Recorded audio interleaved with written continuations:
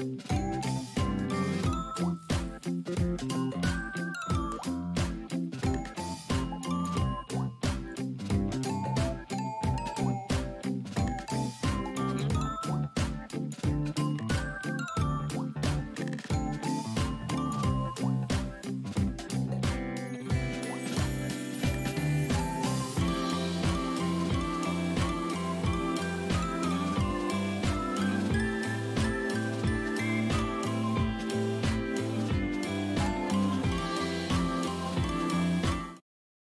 Okay, we're back with another I was a teenage I was a teenage ex colonist. Okay, so well let's just continue. Like I went a bit further um in okay I went a bit further throughout the year and I've basically give me a moment give me a moment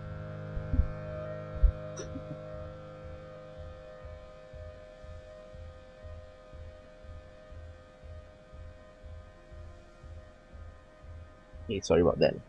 Um we okay so I went a bit further okay and I did a couple of things okay.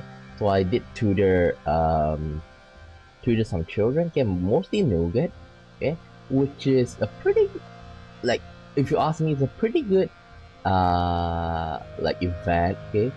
Like I, I want to save some time okay like I don't want to go through every single um I don't want to go through every single event, okay? But um, let's just say that Nougat thinks of me as like the best teacher ever, and I'm trying to be that way. This time, like, let's go for a teacher and rather than engineer and thing, okay? Like, most of this is like, the second one is basically an improvement of the first one, um, where I'll still be trying to go for tangent, okay? But this is what I still I don't like is that you know I, I thought I chatted in the I posted in the forum okay and basically there are people who you know mention that tangent uh, will not be able to we will be able to romance her but we will not be able to have a you know a happy ending for her. That's a problem. But I'll think I'll think about a way with uh, how we can do. Uh, but it doesn't stop us, you know, from trying to mend the the relationship between tangent and Dys. Okay. Now, um, another thing I want to say is that if all fails, then I'm gonna go for Nomi Nomi. Okay. So I'm I'm giving her as much um, as much gift as possible. Okay. And now currently we're in the in the new place, which is um, basically, um, well, I kind of forgot. The only way to the resting ridges is by glider, part vehicle, part kite, and all adrenaline. You land on the rocky, broken up spine of the nearest ridge and nearly fall over when you look down at the plummeting slope into the basin below. You're a long way up. There's an Utopia glide beside you. Utopia exclaimed. You handle that glider like a champ, Dys. You too, Scamo. She peers down over the, the slope down slope of the ridge. A lot more exciting than swamps, right? I want you two to stick together out here. It's dangerous in those ancient convergent domain ruins. Convergent domain ruins? You look around, the landscape is like nothing you've ever seen before. Dry, cracked soil gives way to steep cliffs, and what little vegetation here is brittle and sharp. You can feel the dry air wick away the moisture in your lips. Wait, what the heck is that? Glowy thingy on the ground. You point that out, Utopia gives it a nod to her foot. Beats me, she says. You unearth the object. It's pulsing with light and warm to the touch. Hold up, Utopia says. Don't just go picking, uh, picking things up. Scummo. Could be radioactive, you know. Utopia waves a holopalm crystal over it and check, checks her interface. Hmm, only a little, she concludes. Whatever it is, it looks old like thousands of years ago. Must have been digging up glowing gadgets all over this region, but got no clue what they're for. You hang on to that one, maybe you'll figure it out. Okay. Um, the stuff way down below. Oh, those? Utopia says, pointing to a crystal formation so densely packed into the ravine, it looks like a sparkling river. More outcroppings of crystal decorate the slopes, they are all over the place. Be careful with them, not sure if they are animal, vegetable, or mineral. She points off into the distance, there's a big island of them over there. Like a glacier, covers the whole damn place. May, might be related to convergent domain, but we ain't sure yet. Okay. Uh, what's that? Cute little nose doing on your cute little face. Utopia narrows her eyes at you and just stares you down. Then she breaks into a grin. I don't know what you're playing at, Scummo. She puts an extra em emphasis on her accent. But you ain't getting any special treatment from yours truly just for buttering me up. You have to pull your own weight just like the rest of the surveyors here. Now go on kid, try not to fall off a cliff.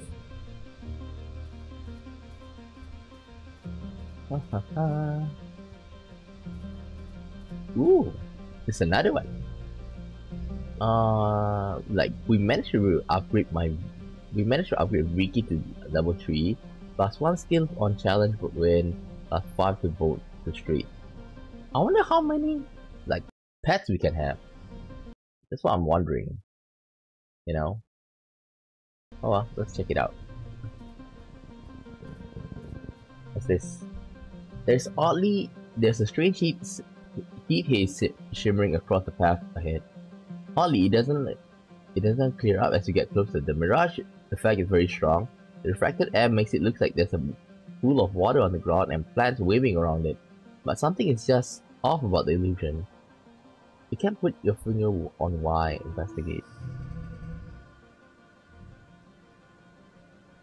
Hmm. Triple five. I'm not thinking of going through all of this, okay?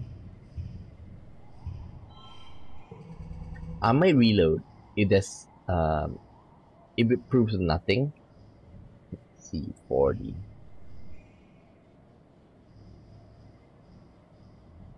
Six. Six.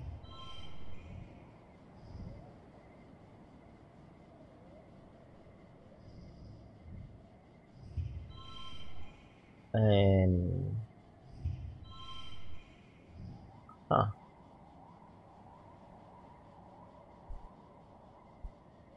I think that's good enough. Like I don't think we can have a better one yet.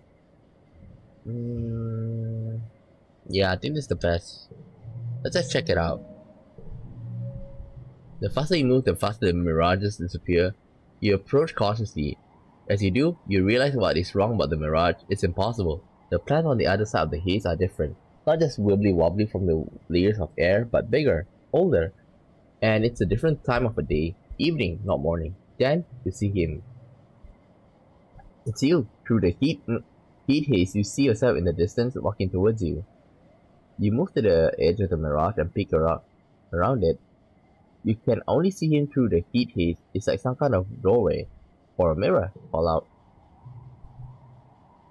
You shout, hey you, and wave your arms up, up, your arms and jump up and down. The figure looks at you curiously. You, it's definitely 100% you, staring back at you like a mirror. Your movement seems to disturb the mirage, which brings up and fades before you. Behind it is regular, regular morning, and you are now alone again. Weird. Okay, so it doesn't. It's not that. How should I say this? It's not that help. Um, that that helpful or like give anything new new information. Like since we have max perception we can we can go around it.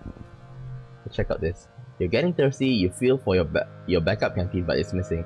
Somehow you lost it since you left this morning and you're all out of drinking water. Uh search for water? Let's see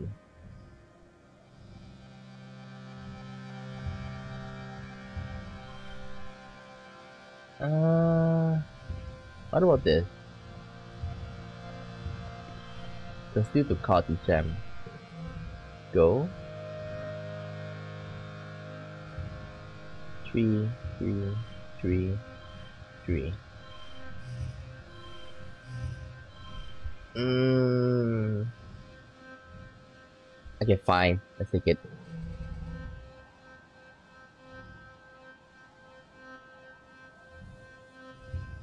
The shimmer cure. Three, four, five, six.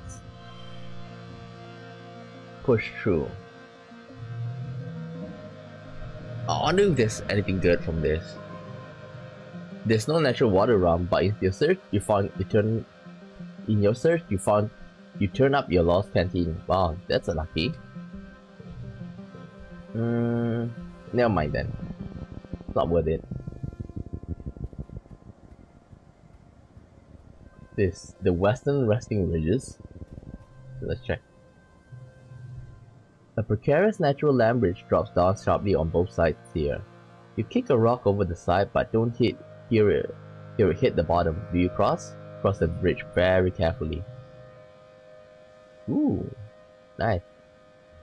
You shuffle across slowly, examining the cracks and sticking to their solid places. You accidentally send a few more pebbles skittering over the edge. And think better them than me.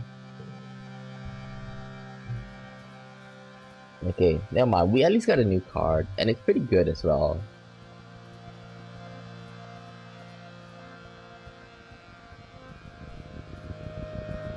What's this? A beautiful little locust lands on your arm. It calmly washes off its face with its forearms and vibrates its wings like it's cooling off. Ah, uh, the poor little guy is alone, befriended. Wait, a new pet? A new pet? I'll take it. If it's the case.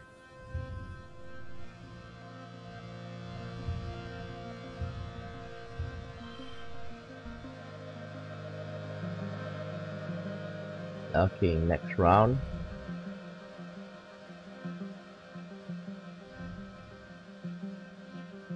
Oof. Look at that.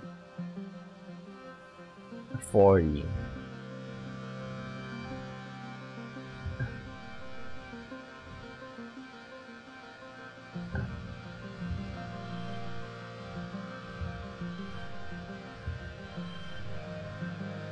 If you ask me, if we go like this,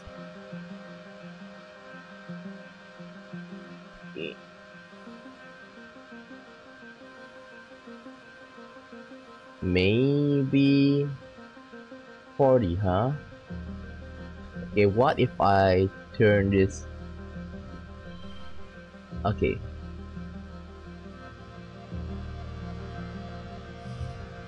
Send it to the back. Okay, what do I put?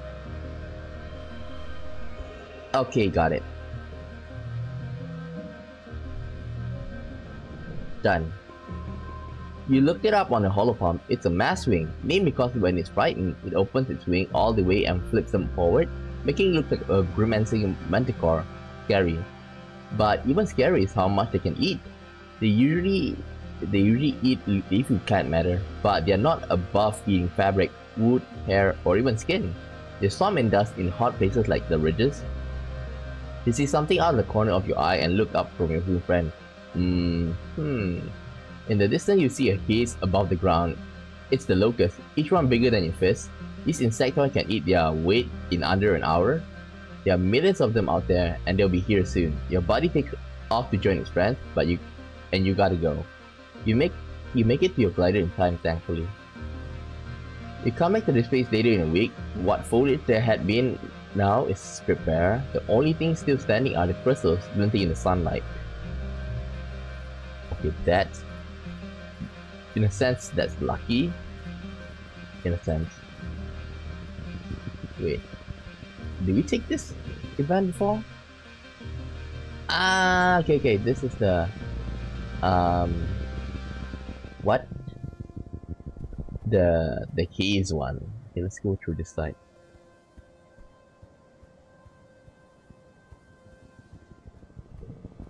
The the sun goes be behind a cloud and you feel a light fluttering off rain. It sizzles into the dry, hot ground around you, providing a little relief from the heat of the day. Then you realize You don't see a single cloud in the sky ahead of you, and it almost never rains in the western ridges. The plants here rely on, on nighttime dew for moisture. Look up. A herd of forecasters are bobbing overhead like hot air balloons, drifting west in the prevailing winds. You've seen this creature being milked in the colony farm. During migration season, their helium sacs swell to make them lighter than air so they can safely travel great distances. You also heard that what they use for ballast. That wasn't rain at all, it was flowing cow piss. okay, we can skip. Like if you ask me, like I took the the eagle eye uh, augmentation, and it seems that's the useless among all. The most useless among all, so like I can easily level up my uh my perception.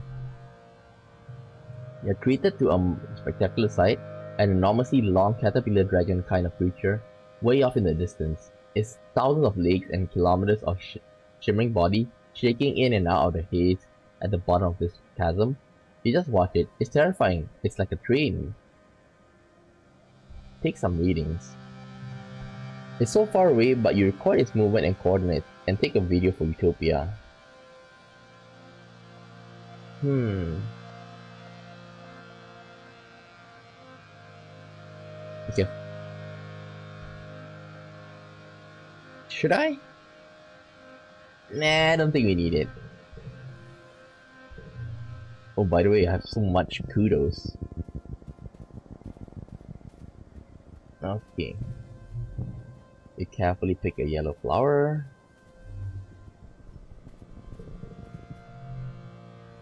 Every so often you see some absolutely massive creatures here, like giant snake dragons with thousands of legs and shimmering scales.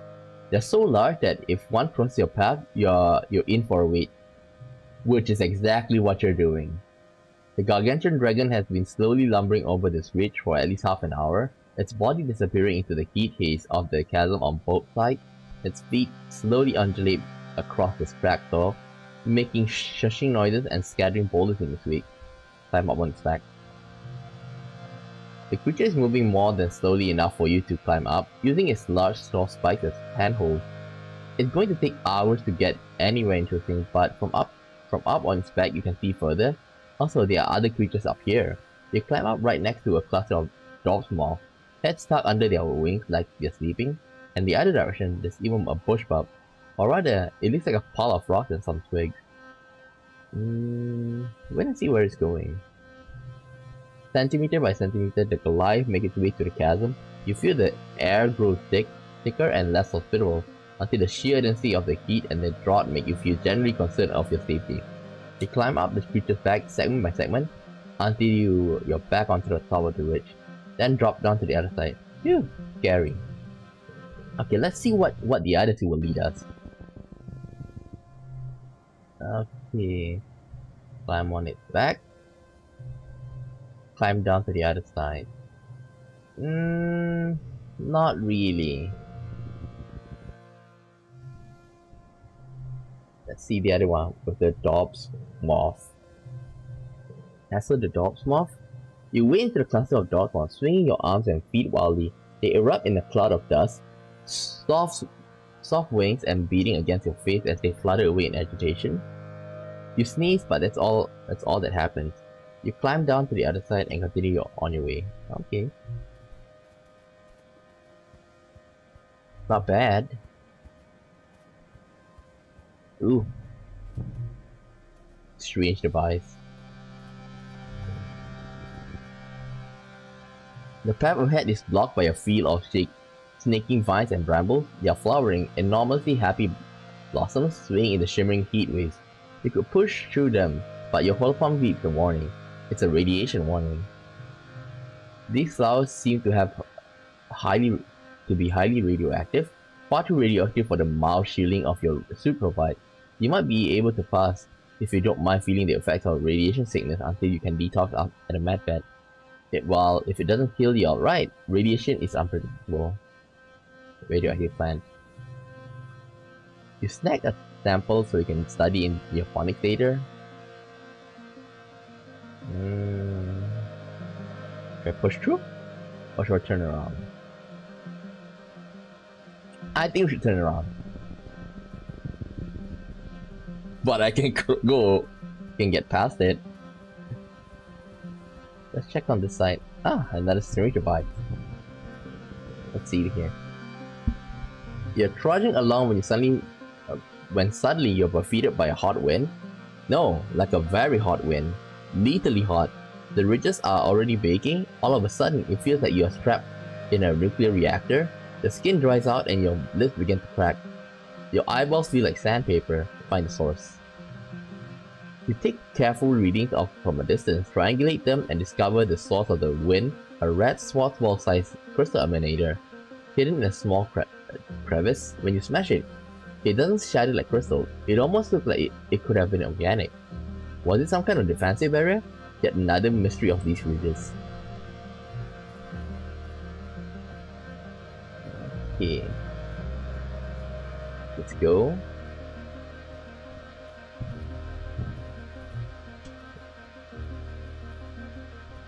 What's this?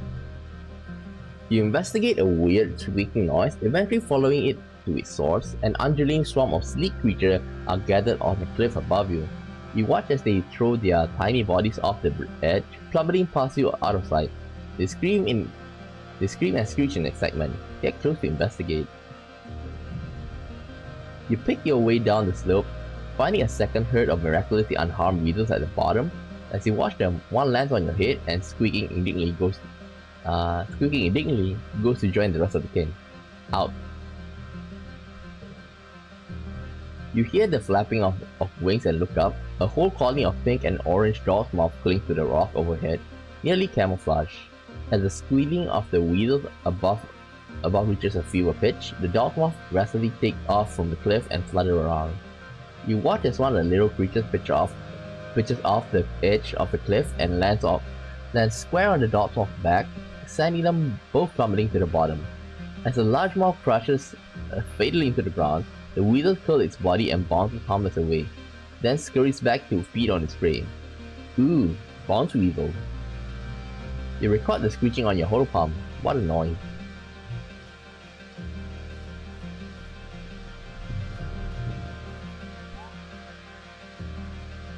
Huh. Okay, I can't go here.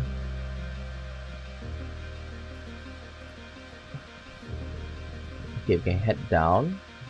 You're walking along a ridge line when you when your foot knocks some rocks down the slope. You anticipate the familiar clatter as they plunge down into the chasm, but realize it's silent, just the wind.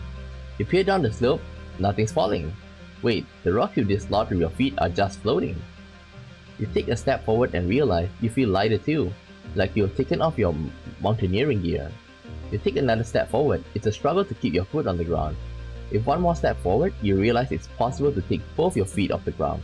You're floating.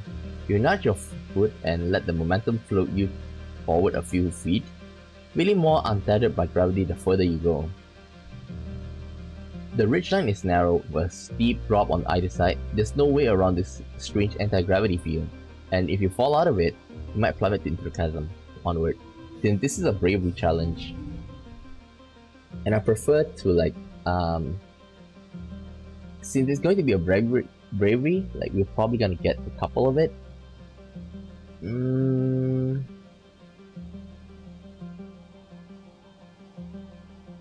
I want to put 555, but then this one card becomes 3.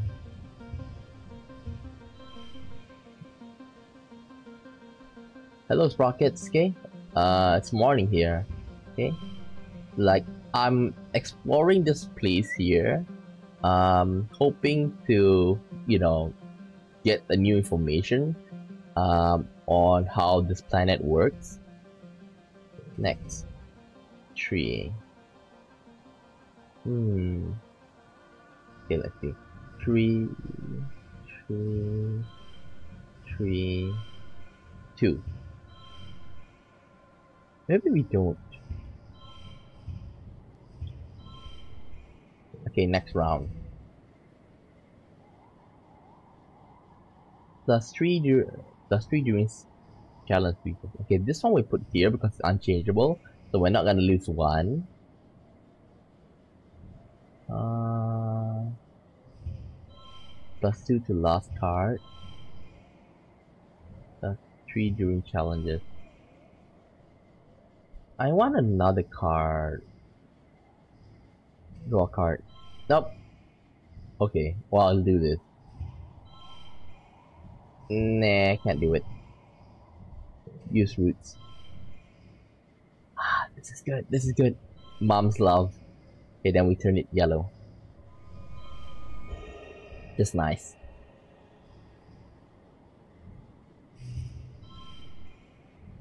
Seven, seven, eight. Okay. Plus one skill on challenge win. You float forward, allowing yourself to rise higher and higher until you are able to swim and tumble through the air with ease too. Ooh, wow, it's totally weightless. You float over a shiny lumpy rock, jutting from the spine of the ridges. As you pass over it, you feel gravity gently begin to embrace you again, pulling you back down. Your feet touch the ground again on the other side, and your legs immediately give out. What a rush. You mark the location on your map for other surveyors.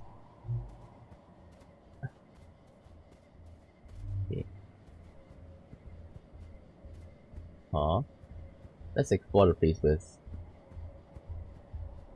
Where am I? Hey! You guys did hear that, right? The thumping? And it's this machine again. You find your way blocked by a massive wall? No, a hollow pillar, knocked over and lying on its side in, in the sand. It's absolutely massive. It stretches to your left and right, at least a kilometer in each direction, though at some point it crumbles enough that you could likely scale over it. Hmm, should I check that out? Yeah, of course.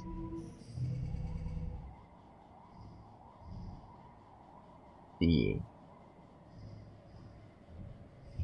five, six, nine. Okay,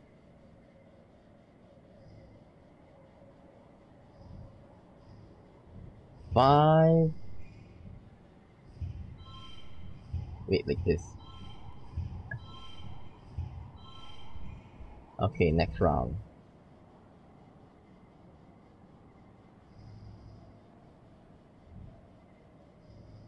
Okay, the shimmer.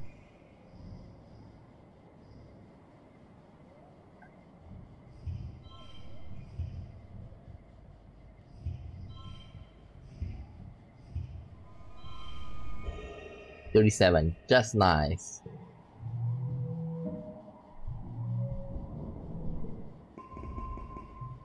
This looked giddy as, as you follow the pillar to its base, a large pyramid almost entirely lost under the sand. You brush away some of the sand and find that the pyramid is inscribed in, on all sides of pictures of, well, wormholes to think. This pillar must have once stretched up into the sky, maybe it was some kind of observatory or sacred building, or just a monument to the wormhole mysterious.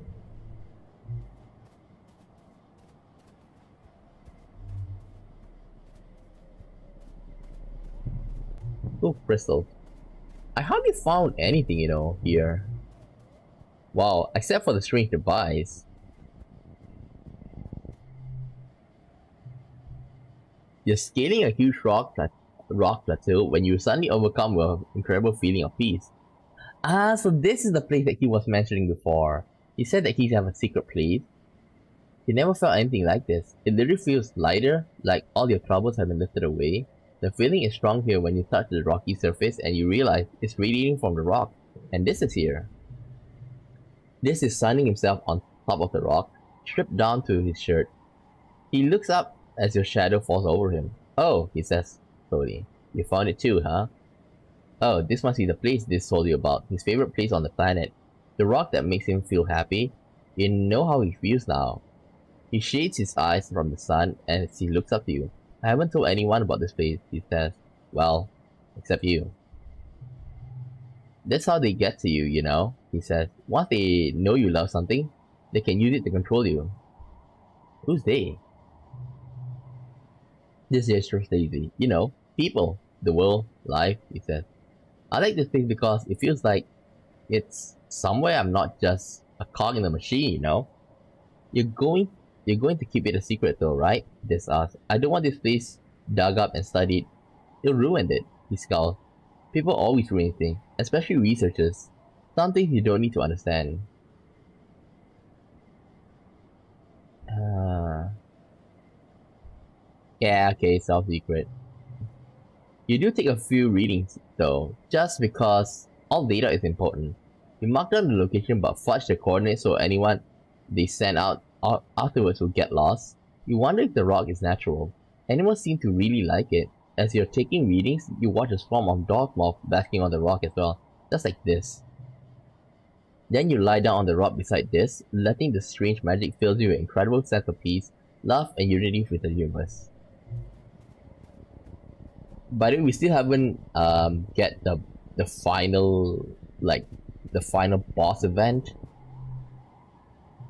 You haven't been down to the deepest crevice of the ridges, where the crystal grow thick and the air is stagnant and dead.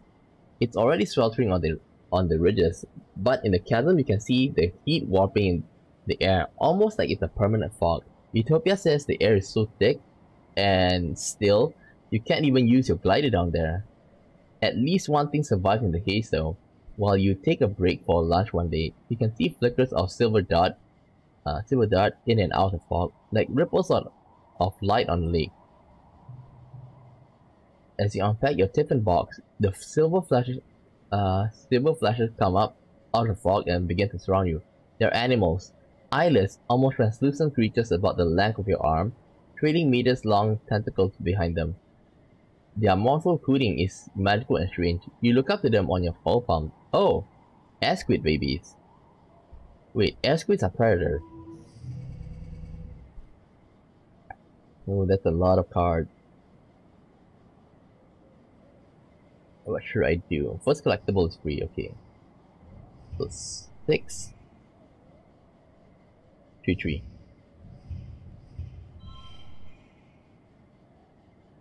Next.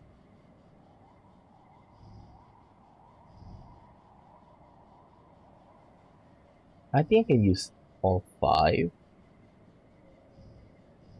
Okay, let's try. Five, five, five.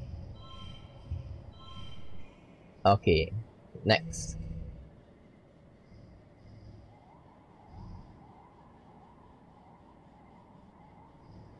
Hmm, six, four, three, push through. Wait. Plus first. Just five stress. Because it is free after all victorious. to perception. You duck behind some roots and keep perfectly still as the cre creepy creature float around and past you. They don't seem to be hunting for food, they must be on their way somewhere else. Until they suddenly turn back and zero in on your location. You find yourself surrounded by curious baby air squid as their tentacle begin to pass over the ground, looking for you. You're not you're not gonna get it today. You leave a tiffin and, and bolt, paying no need to the noise they are making as rocks slide down the side of the chasm. As you run, you swear you run right past someone. What? Where did he come from? Behind you. You think you hear him making a low hooting noise. By the time you realize the air squid are no longer chasing you, he's gone. Mysterious stranger.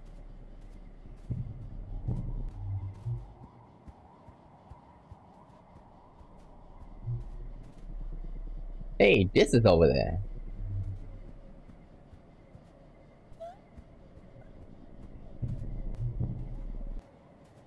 Ooh. We gotta be careful though. We only have one left. But we'll go for this, okay? This is on this side.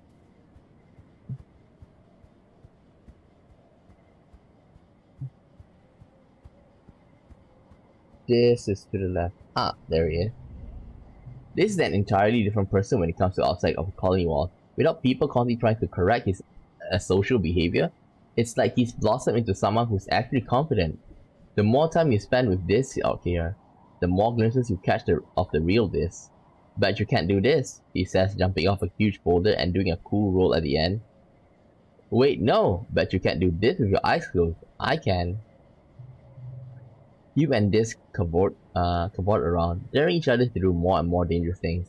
Dys isn't scared of anything. Think you can see something up on one of the plateaus above you? The cliffside is covered with convenient vines. Dad just to race you to the next checkpoint. You're off before he even, you even finish the sentence. Dys hollering, no fair, as you leave him in the dust. The two of you run and continue your day. Ah, uh, okay. I want to see if like we can gain some like reduce some stress. That's now your turn. Well, you dare him, so you gotta follow through. The vines are slippery and dangerous. Some of them are still uh, are even alive and wriggle when you grab them. You lose your grip at the top and you slip and start to fall, but Dys grabs you. Gotcha! Dys exclaimed, pulling you over the ledge. Your heart is thumping and you're all sweaty from fear. But you did it! Dys looks so calm and collected, even though he just climbed the same treacherous wall and had to save you from a long fall. Why doesn't he ever seem scared? The plateau is empty, but it provides a great view to look out over the resting ridges, you and Dys take a break and watch a shadow creep across the dusty, craggy landscape. This is the life, Dys says. No school, no gossip, no bullies, and no telling me what to do or think. He propped his el elbow up and his knee squints into the stance. People with my augmentation in the colony, I always feel like a coward. But maybe the problem isn't me, it's everyone else, you know. I'm not scared of any usual stuff. Monsters getting hurt, even dying. Like who cares? He continues. But humans keep finding ways to control people with fear. Well, they can't control me. Huh? What is this augment? No sense of fear. Oh. Fear keep us safe though. This one. FPS keeps you safe, I have to actually use my brain to decide for myself what risks are worth taking. You could have pulled me over the cliff with you, but I didn't let something stupid like being afraid of heights keep me from saving you. You don't point out the feelings to what, what uh, was what got you into trouble in the first place. Ah, uh, okay. Even though it's great that I learned, but I think I should go for that final boss one at the at the end. The boss one are always in yellow. Um, in Valley of Vertigo, there's two boss events. And usually the boss events will lead you to will lead you back to the well an easy way back home, easy to say. Let's check it out. Expedition has been collecting energy readings from this area, tracing the individual in invisible ley lines of power like the one from the thumper that brought you here in the first place. They pointed you to this cave, a nexus of power at the convergence of many lines. You can feel the energy is different here. Like a barely perceivable hum that prickles up the back of your neck. Like something is watching you. It's likely this was some sort of important place for the convergent domain. Utopia says, leaning on her glider. I sent teams so, but it gets mighty tight in there. I'm hoping you and Dys might have a better luck wiggling in there, she continued. might be the caves up uh, might be the cave inside open up again and if they do take plenty of readings and report back to me Dys is vibrating beside you on nearly the same frequency as the weird power fluctuation this is the real deal he whispers mostly to himself utopia nods and leave it to you what's the plan prep your caving equipment this time you get headlamps and little recording drone with a floodlight floodlight attachment a tiny buzzing flying thing that circles around your head and sometimes illuminates what you want to look at. It's intelligent, which just means it won't just do what you want. Dys bats an eye at its annoyance. Utopia also left you an anti-grav belt with a warning to, the, to practice extreme caution while spelunking down there. They make you lighter so you can climb up more easily and won't hurt yourself in the uh, if you fall. Enter the cave. The narrow entrance leads to a bigger room that animals have clearly used as a den. It's enormous with glowing mushrooms on the walls and piles of bone in, in some crevices. In some domain, the walls are made iridescent, convergent domain obsidian. Like this was once a great hall millennia ago. You can feel a cool breeze coming from somewhere, but it'll be tricky to find the dart. try to find.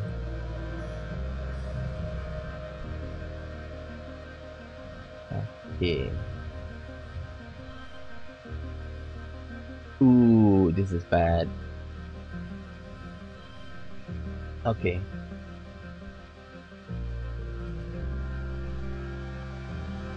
What should I do?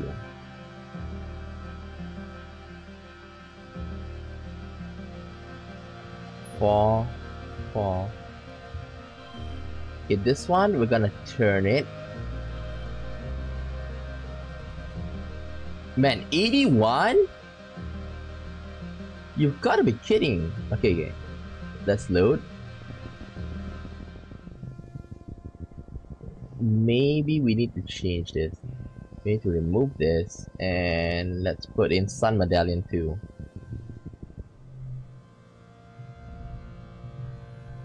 Enter without the caving equipment.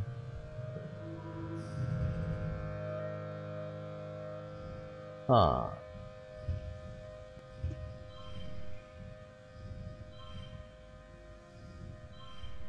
Okay. Next, this one here. Give them yellow flower. Next round. Yeah, next round. 34. 34 is doable.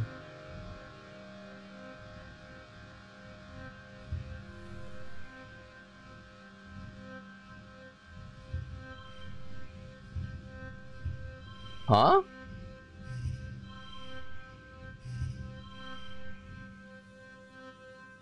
Wait, what? I have to use it again? Okay, when?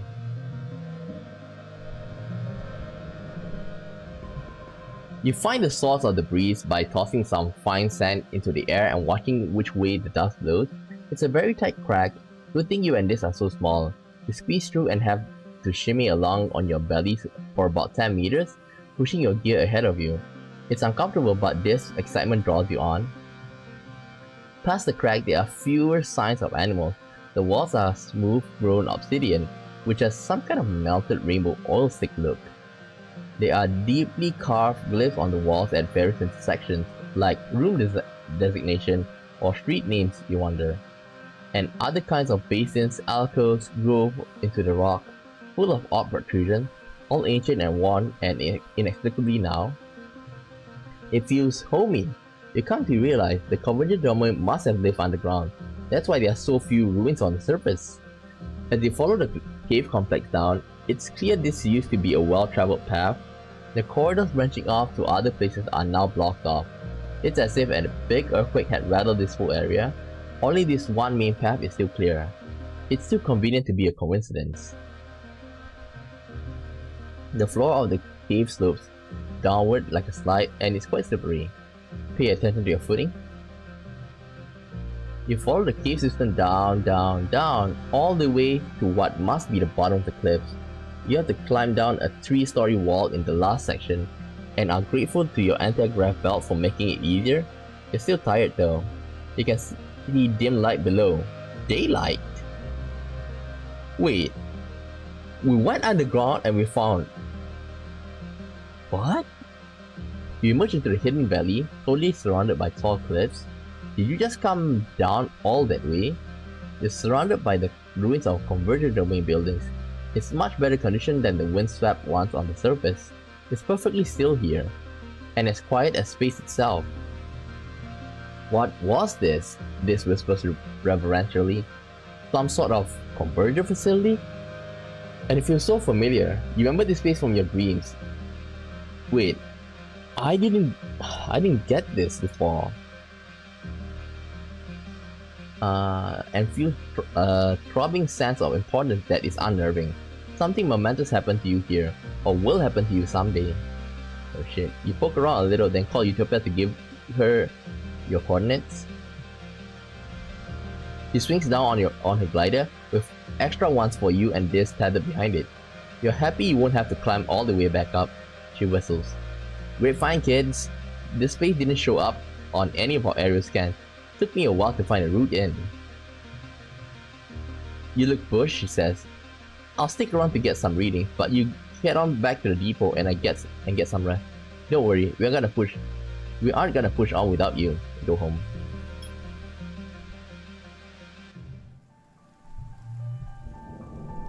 Done. And I need to rest. You're browsing the colony bulletin board on your holopalm over breakfast, then you notice a few posts from Nomi. It seems to be a short story. The title is Xenos to the rescue. Oh boy! You open the story and read through it. Actually, you think you and Nomi did okay. Sure, the premise of taking a uh, talking Manticore is a little shaky, and Nomi doesn't really spend time establishing the character's motivation, but it's still an entertaining read. Ah, uh, like this one here, if you didn't have enough creativity, then like you're not gonna probably help. Um, that's why you get you did like this lukewarm response. But in the last round, my creativity was high enough that I can help her. Lamal, this sucks. Xeno suck. Uh, my sweaty ball sack. Next month. Okay, it's glow month. Get ready for an attack. Oh, we're gonna rest in the in the geodomes, but I want to find for stuff. Uh, uh, nope. Yeah, it's not helping. Hey, let's talk about parents. Despite your dad standing still, his eyes closed and head tilted to listen.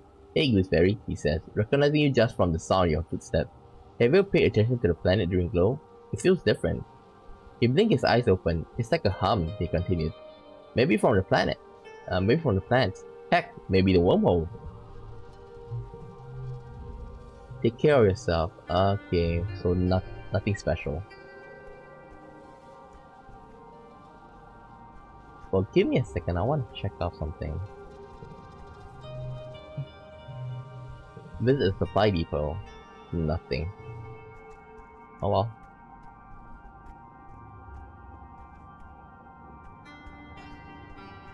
Seriously, no... No collectibles. Oh well. Time to rest. Relax in the park.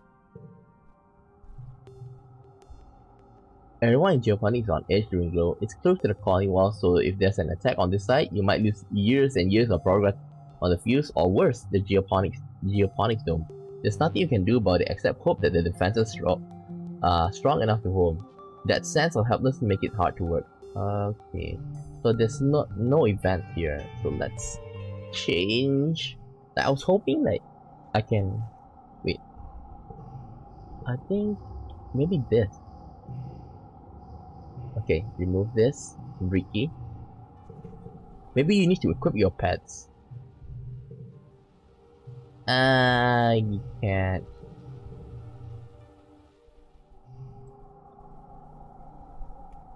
Okay, let's see. Maybe we rest. We go and rest here, the living quarters, relax the lounge. The old lounge is, still is still What was left over from the attack, okay, last row was destroyed in the crash. Uh,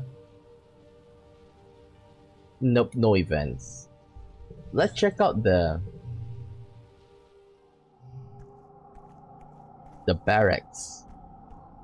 Let's relax over there.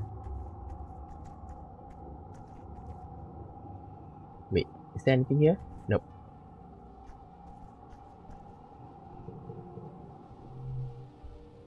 Relax on the walls.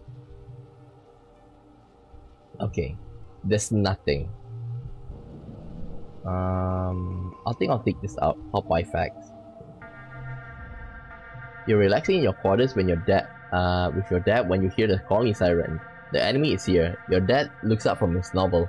Huh, seems early this year. We should head to the shelter in the lounge. Okay, this one here. Let's rush to the front lines. You muster with, with the rest of the defense force at the gate. Red and Lam are arguing on what tactics to employ. Lam keeps trying to rally soldiers with a heartening speech about giving it everything they've got, All the drones, all the explosive, and Red keeps cutting it. We don't need to take any big risks, Red insisted. It's a smaller attack, and we have more than enough plasma rifle and turret. We should save our resources for when we do need them. Why do things halfway? Lum exclaimed. We need to get in there and kick their asses back to the gooey to the goo they came from. We need to show people that we have everything under control for morale.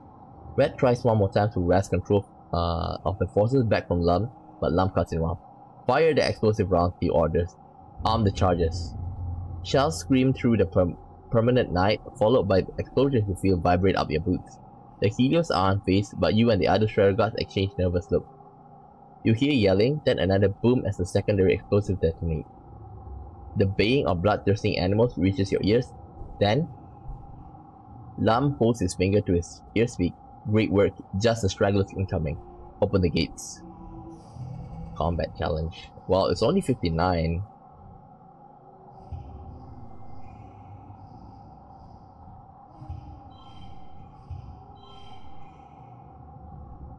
Okay. Next round. Four.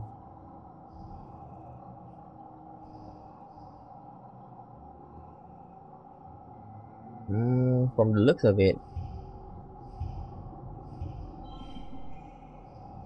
Wait. Like this. 16. Okay, I know what to do.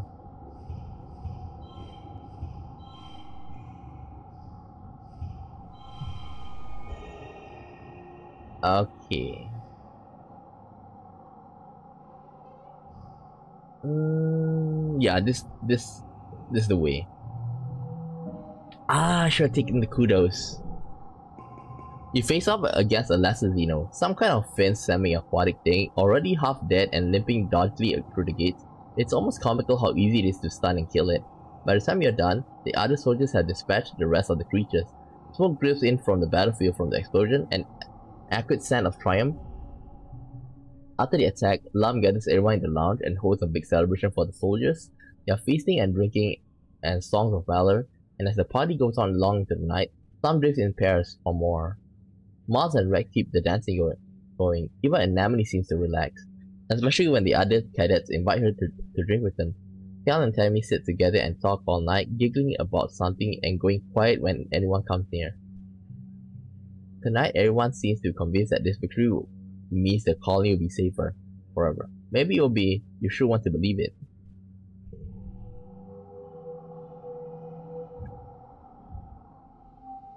Early quiet. Quiet is basically their winter.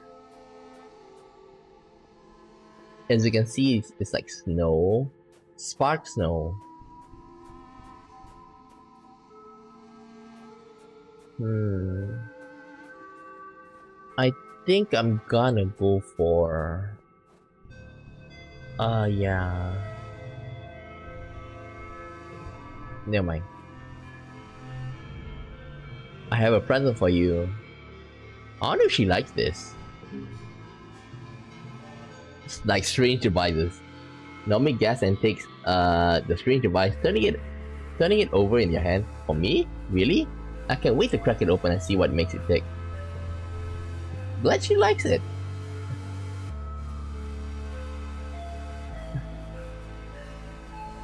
Anything? Ah. Good. Then I don't need to go out. Gotta give Rex this.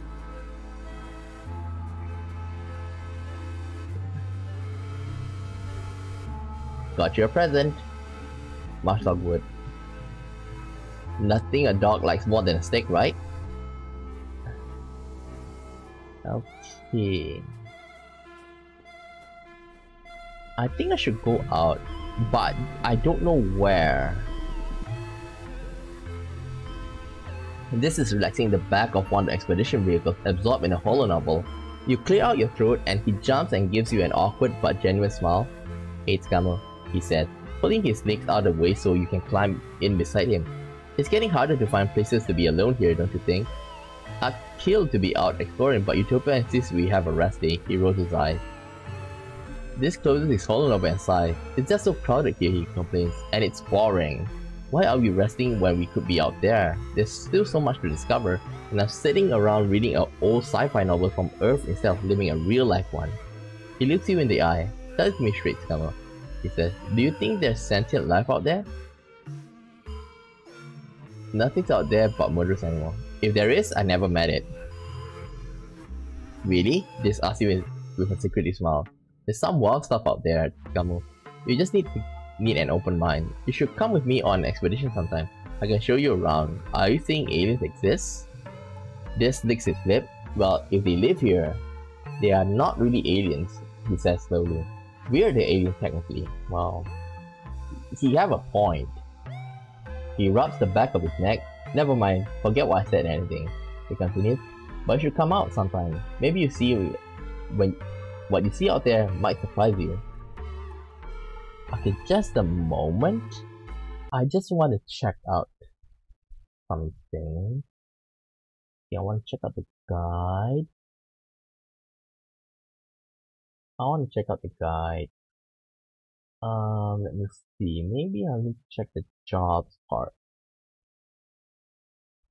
Um, the job board.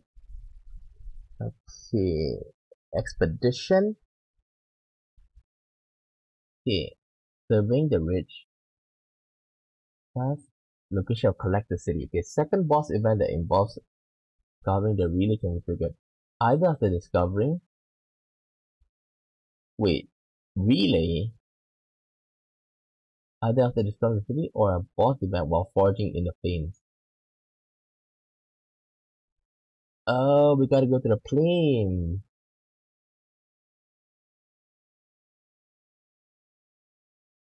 Survey the plane. After source trigger the deeper exploration of the city, this will require fully rested being and I either passing a toughness and reason check. Inside to the reload. Okay, okay. So it says here I'm gonna save here and like we rename it explore. Okay. They say in the plane, right? Second boss event that involves discovering relay can be triggered either after discovering the city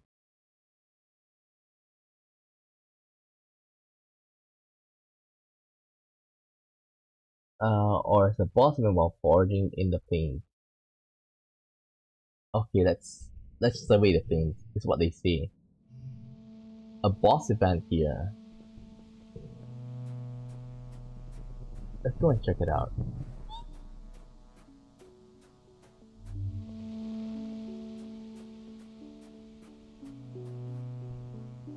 Ooh, Nomi Nomi's there.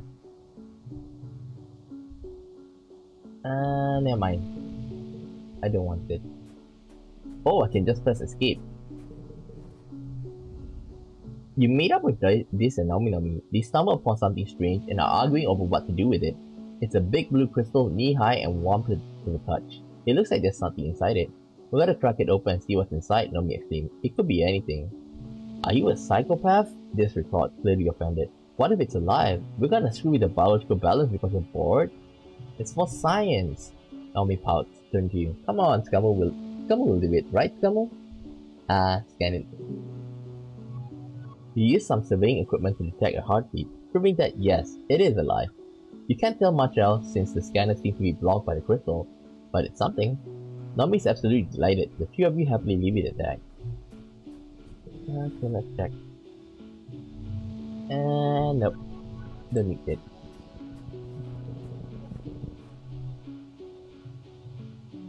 Uh, ignore them. Purple furred animal? study them. Maybe this is... Maybe should do this. Mm, heart becomes two. Heart becomes two.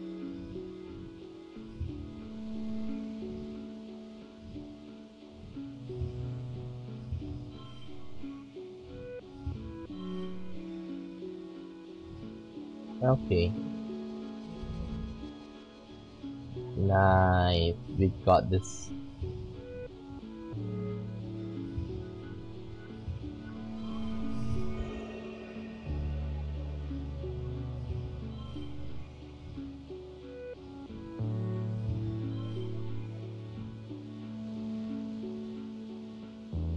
Let's see how many eggs we have. Oh, I'll just win it. That's one skill. The creature's fur is like grass, so they must be some kind of photosynthesis, an animal that gets part of the energy from the sun. They couldn't be a for uh, arbor arborescent photosynthesis bushwalk because they they've got branches growing out their heads and back. You check a survey journal, it says bushwalks are common here, but they are smaller solitary creatures, so no. They're too small to be balnear photosynths who don't usually leave the water to find a new species. Maybe, that would be cool. You decide to name them just in case. You look at them through your binoculars at maximum zoom. You can kind of make make out that they have super long jaws with a huge underbite. You name them Sunbaskers. Naming thing is hard, so Sunbaskers will have to do. You log in your discovery. At least it's something.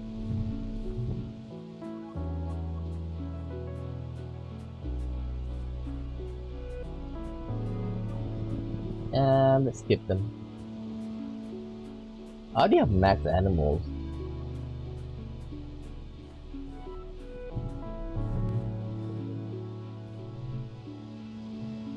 Uh, get up this.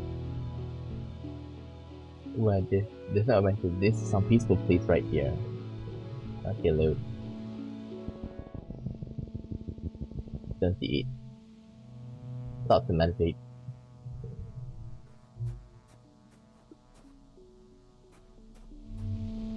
Mosaic planes. Uh, ignore it.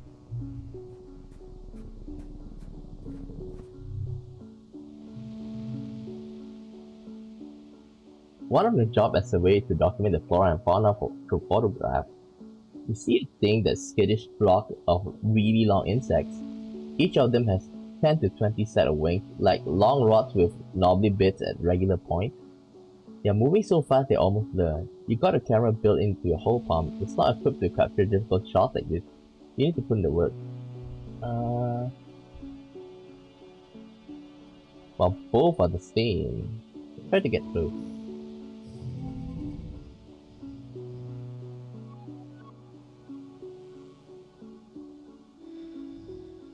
Okay, five, two, two. Okay.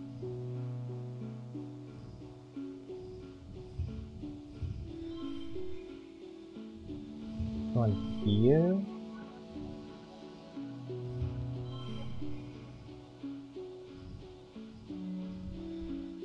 Next. Five, five, two, two, four. Okay, next. Victorious. You cautiously crawl up beside your subject, raising your holopalm to get best close-up possible. Ouch! Just as the camera takes out the photo, your photo, your subject bites you on the finger. Ah, you hope it's not venomous. On the other side, you got the shot. Ah, I guess that's not a good idea.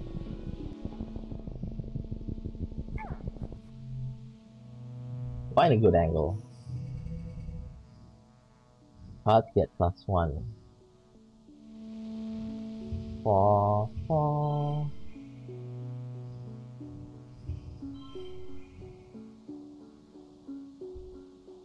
Okay, next.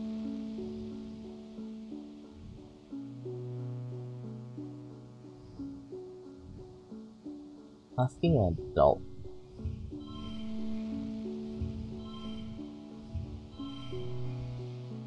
Okay, next round. This time we're gonna use red.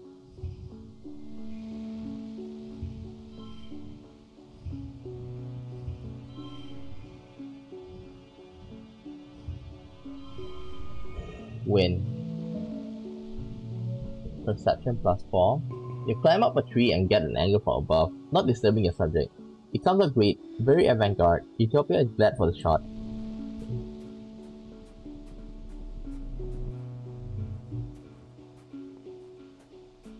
Okay, flowers... Nothing.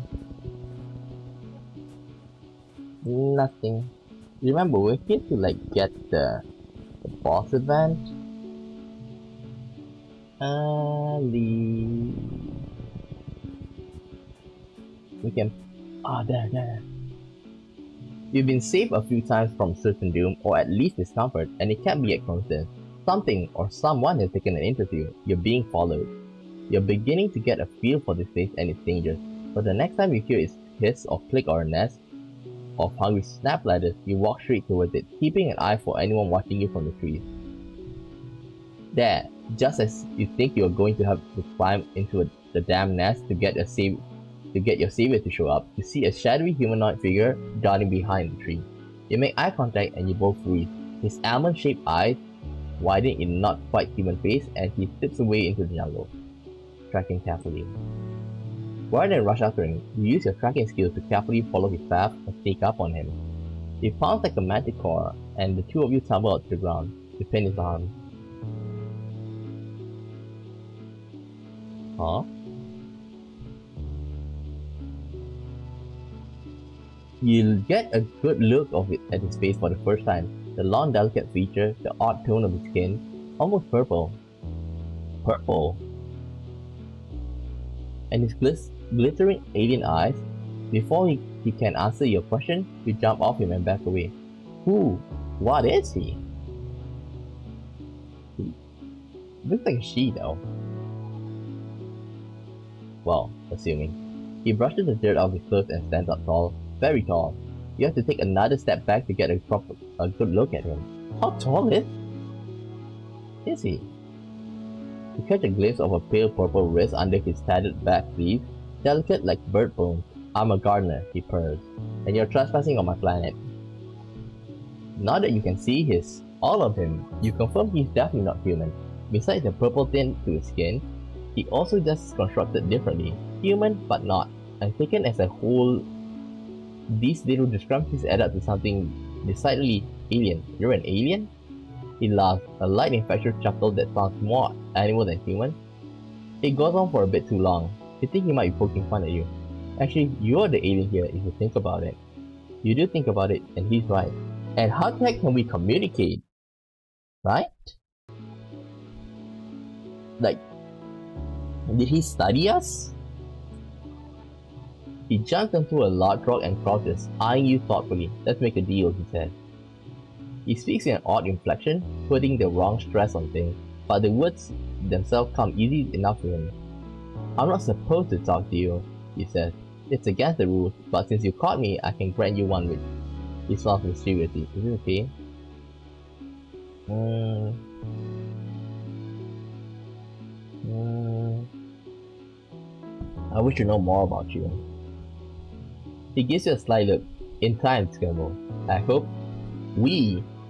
He pauses and his eyes unfocus for a moment. He says, he stares staring straight ahead, unblinking. Then he slowly stretches like a cat and stands up. Well, this has been fun, but I'm afraid duty calls. He drops off an invisible hat towards you. My name is Symbiosis, by the way. Sym, if you like. Um, symbiosis is where a relationship where both sides will get something. Parasite is like only one side is gaining while the other side suffers. But symbiosis, like I say, it's like a cycle of positive. He jumped behind the rock and disappeared. Literally, he disappeared. You search all around and can find no trace of where he might have gone or how. Stars, you just met an alien. Well, we are the alien on this planet anyway. Let's check. Uh, no.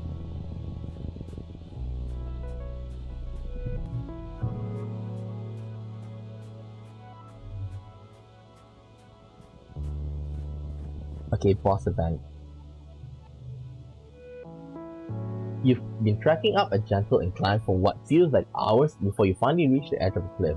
The paint sprayed out before you as far as, you can see in every direction, sparkling lakes reflecting perfect circles of sky. Spark snow drifts lazily through the air, flickering like fireflies in the distance. Everything sounds muffled and peaceful. One of the suns is setting and the other is rising. It's spectacular. This joint to is shortly afterward, just speechless. Keep a watchful eye out.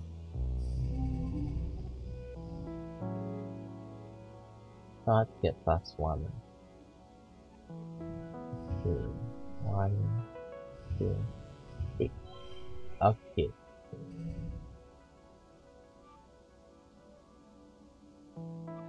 Hmm. I think I use red. One, two, three. Next. 26.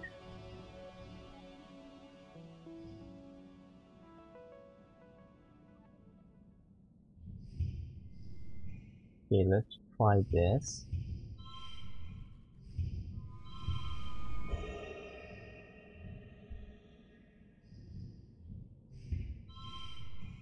Okay, just nice. Victorious. Perception plus 4. In the jungle, you're never safe. You stand and watch. There's some animal activity, but nothing out of the ordinary. At least you get some practice. Go home.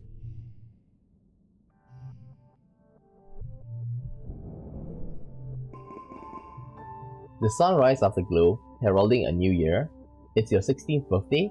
You wake up in your new quarters, blinking into watery sunlight.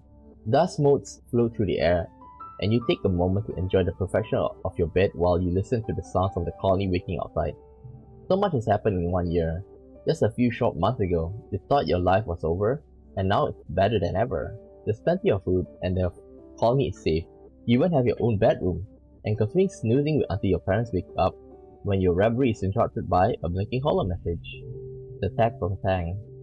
Joyous observance of the anniversary of your birthday lead. Another one comes in, that means happy birthday of course. And then, in case you didn't know, wow, a whole three message messages in a row from Tangent. That's pretty gushy for her. Exploring your other messages, you can see gossip about Cal and Sammy. Apparently they're dating now? Whoa, you check their relationship status on their profile.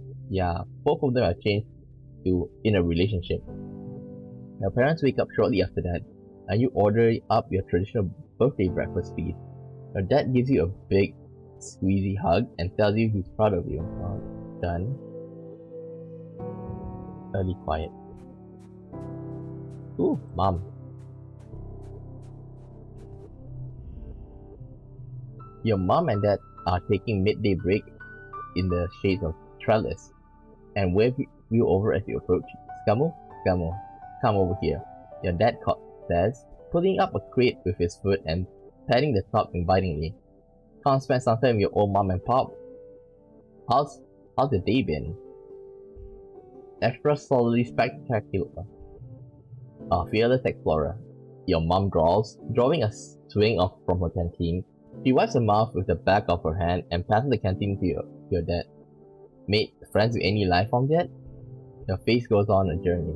Friends with what? Do they know about Sym? How could they? Your parents chuckle at your expression. Well, Skamo, your dad says, you know, like the little hoppers that sneak in or a blip bug. Oh, those kind of aliens. I thought for sure they were asking about Sym, but hey, while they're asking, well, just one alien named Sym. You tell them you met an alien, a smart one with two legs, two arms, and a humanish face. You had conversation with him, he looks like human. Your parent exchanged dubious look. We've already checked, kiddo, your dad says. There's no alien civilization. Are you fucking dumb? Like, we... Did surveys told you that? About, you know, we did went to the, um, you know, survey just now in the belt, in the ridge. Don't you think they would have contacted us if there was? Your mom snorts. Maybe they're scared of us. She pats your leg patronizingly. This is like the dream dream thing, right? You dreamt you met an alien like you used to when you were younger. I know you always said you had trouble trouble telling imagination from reality, but don't you think you're getting too old for it? I can prove it. Your mom frowns. No, you can't, because there's no sentient life on this planet.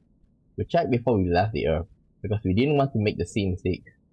Oh my god. Trust me!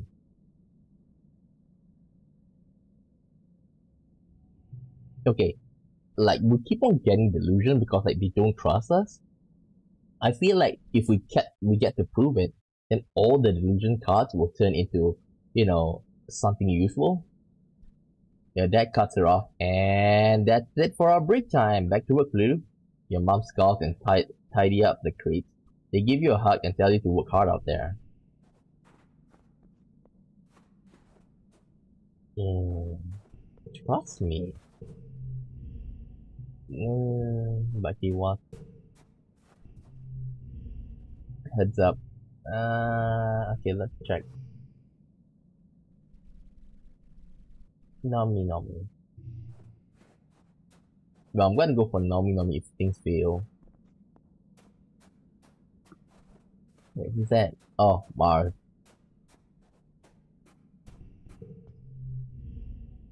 Tammy beams when she sees you, like there's nothing better in the world than the sight of her face. Happy birthday, Scammer, she exclaimed. She comes in for an, her annual birthday hug, throwing her arms around you and give you a great big squeeze. Here, I got this. Mm.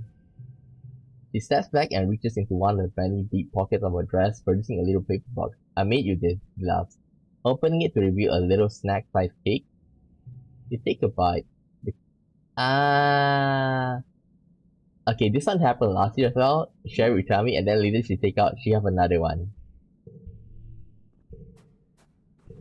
Thanks, Tammy. Mm. Wanna study together? Tang is sulking outside the lab. Though it's hard to tell given her usual demeanor, I'm not allowed to work a triple shift, she mutters. Just because everyone else is a weakling who requires sleep, it doesn't mean I should be held to the same standard. Study together. You offer to help Tangent with her schoolwork, but she just shrugs you off. I'm not working on school anymore, she says. Chief Engineer Instance says I'm smart for my age, and my talents are wasted in school. She opens her holopalm and shows you some of her lab notes. Ugh, so much work though, she complains. Honestly, maybe I would be better to be like everyone else.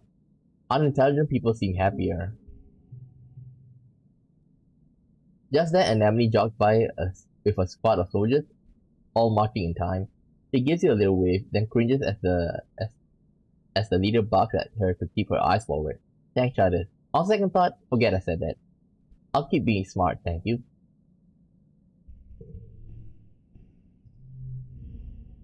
Uh, research coming 80. 52.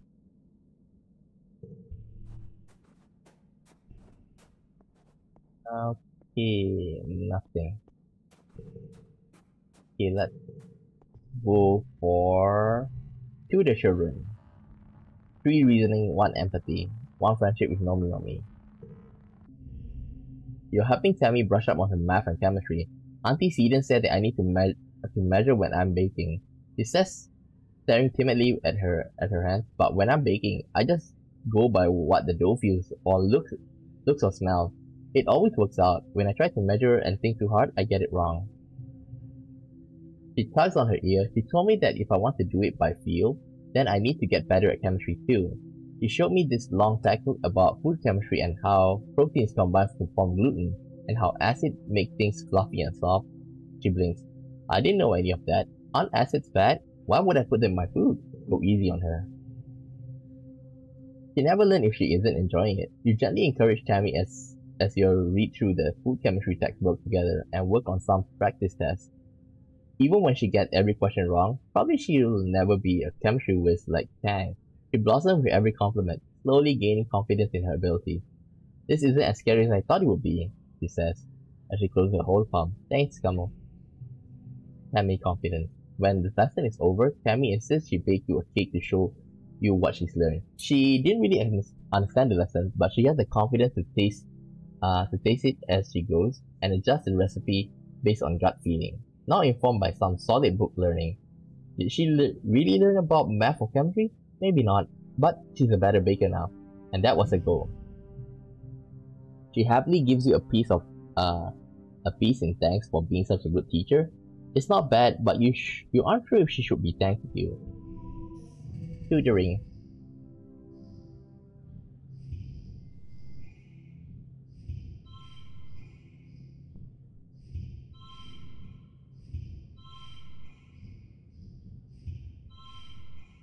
Like this.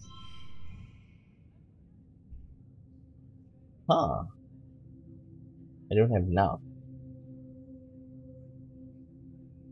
Nah, just push through. Plus 5 reasoning, 1 empathy.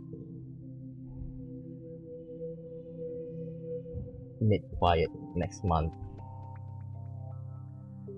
I'll think I'll go for the second perk, then after that I'll go for some engineering. And as usual, let's go around and check. I'm planning to go out again in um uh this is pollen, this is dust, right? I'll go out in dust so that I'll go off in dust because like I want to gather some marsh marshmallow wood. Oh, there's an event. Okay. You and Dys are sitting on the tailgate of of one of the expedition vehicles, shelling bobber, bobber seats with your teeth and spitting the hard bits on the ground. Now and then, one of you points out something funny, a passing surveyor does, or spots something under the mush trees. This is the easiest way to talk with Dys, by not talking at all. Dys has always been like this, being isolated from the other kids has made you thoughtful. Out of everyone, you think Dys might understand about him, and be able to keep it a secret. Do you tell him? Trust him. You tell Dys that you saw something interesting when you were on on expedition. Dys perks up immediately and turning to you. Yeah? He asks. What? I met an alien. His jaw drops and his face goes an interesting color. You're worried for a moment, but that he's going to be upset with you and for teasing him, but no way, Dys hit us lenient. But I met an alien too, Scamo. What was your like? Um, like us, but an alien? It describes him, his long dark hair, his big eyes, his faintly purple skin, the way he never seems to answer any of your questions. Dys at your face. Wait, you met Sym too? You're not, and this this is hand fly to his hair. He said he met another human boy, but he didn't say who it was. It was you this whole time. He made me swear I wouldn't tell anyone else, Dys says, earnestly. It's a weird expression on him. He said if other humans find out about the gardeners, we'll be in a lot of danger. So we can talk about Sym, but we have to keep it a secret. So the Western Ridge ruins? Yeah, I'm sure the gardeners are related to those ruins somehow. His head. I asked him if the gardeners built that, what used to be there. He said the ru ruins built the gardeners. He always speak in riddles. Why hide him? Dys look at you was grown a second head. Like you've grown a second head. I don't know about you, he mutters. I'm done with people making fun of me for knowing the truth. He shakes his head and looks out into the forest. I want to protect him, he says quietly. He's one of the only people who's ever tried to know the real me, you know? It's different for you. People like you, Skamo. He rubbed his cheek. Tim is my everything. If he needs me to keep him, se him secret, I will. Okay, this will be a secret. It's not looking serious. Good. He says simply, then repeats it. Good. You go back to shelling bobber seeds in silence, watching the colony go about its business. How much are we on? 90. Not bad. And Tang as well. How old am I? 16.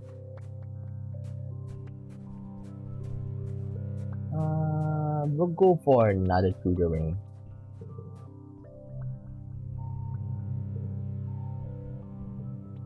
You're heading back to the quarters at the end of the day. As you pass the med bay, you hear shouts and scrambling from within. Several surveys have come back with serious wounds. Not the usual broken limbs and sunstroke. One of them is holding a towel to her own leg, splashing blood through from massive animal bite. Another looks blinded from acid. It looks like chaos in there, up in med bay. Gosh, it's a good thing you were here. Tri triaging and getting the most badly wounded into the med beds is difficult, and the others need traditional medical attention while they wait. It's hectic, stressful work, but you're able to keep head and provide assistance. Good wording, Kitskamo. Chief Engineer Instance says, You know, with how the colony's grown, I could use an assistant nurse here. Someone I can trust to take care of things when I'm working in the lab. Come back next month when and give me a hand if you're interested. Okay.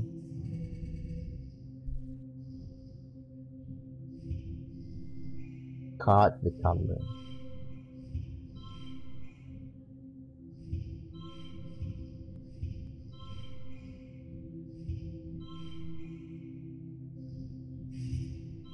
Uh, okay, push through, stress. And the next one we're gonna rest. That's why we The stress out, right? 100 over 100.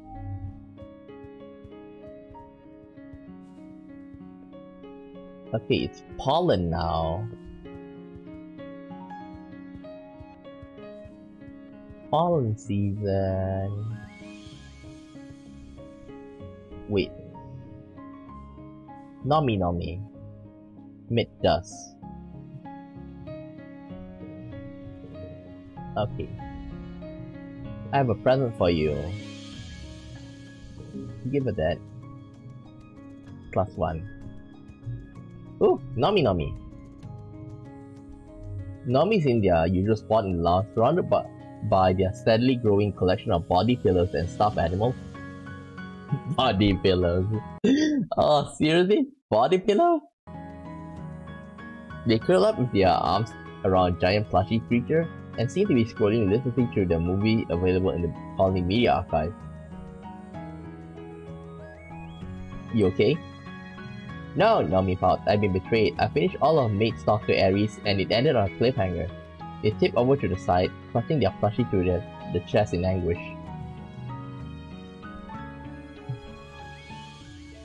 I didn't know that Stratosphere had left Earth before the series finished airing. Nomi whined. You have every episode except the two-parter season finale. They buried their face against the plushie. Now I'll never know, know how it ends, they sniffle. It's just, it's not fair that we never have any new shows to watch. This isn't about the show, isn't it? Nomi wipes their eyes and, and a big sigh. Yeah, they say. Not meeting your eye. I guess it's kinda true. It just reminded me that, um, they pick up a thread of their plushie, you know, they continue quietly. That, um, everything ends and sometimes it's a lot sooner than you expected. When I got here, I remember looking at your huge media library and thinking, wow, Galactic, I'm never gonna run out of things to watch. It felt like the whole world was still ahead of me, ready to be discovered. A new planet, a new peop new people, a new life. Nomi digs their, digs their finger to their plushie. Now it feels like everything's just on fire all the time, and everyone's always on my case about how I need to grow up. What's so bad about being innocent? Why does everything have to be so grim all the time? They wipe their eyes again, angry, and I don't get any more episode of this stupid show that, that I like. It's not fair. I get that it's hard. Nomi nods their chin wobbling as they try to keep it together. Yeah, they say, tipping their head up to the ceiling and trying to put on a brave smile. Thanks for getting it, Jamo. Ah, uh, guess not then. Okay, what we're supposed to do, we're supposed to level our creativity. Now that's what I think I'll be doing. But, uh, if I end of pollen, I I can't be, I can't do anything about it. Then maybe I'll just think of something else to do.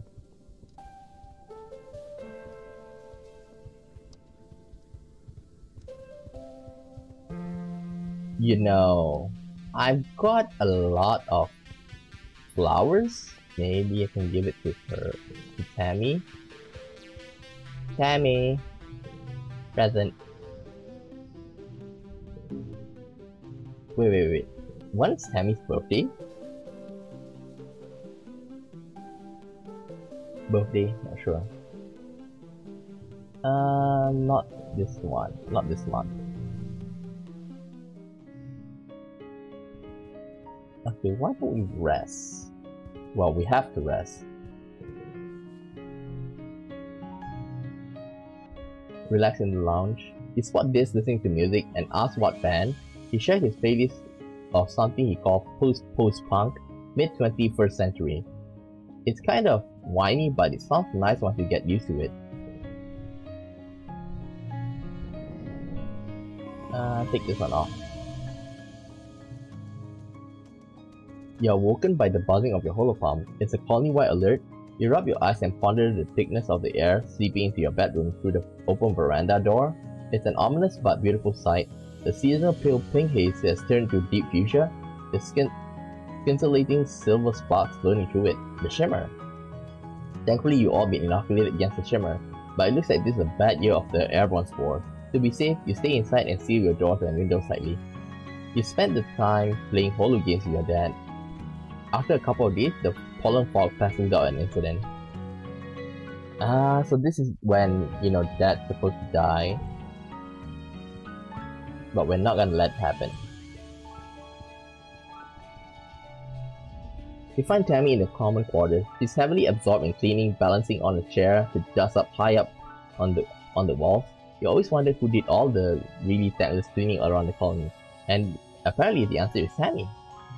Tammy looks down at you as you approach, and just as to turn off her gear speak, Oh hello Tsukamu, she says, pushing her bangs off her face with a sweaty, hairy smile.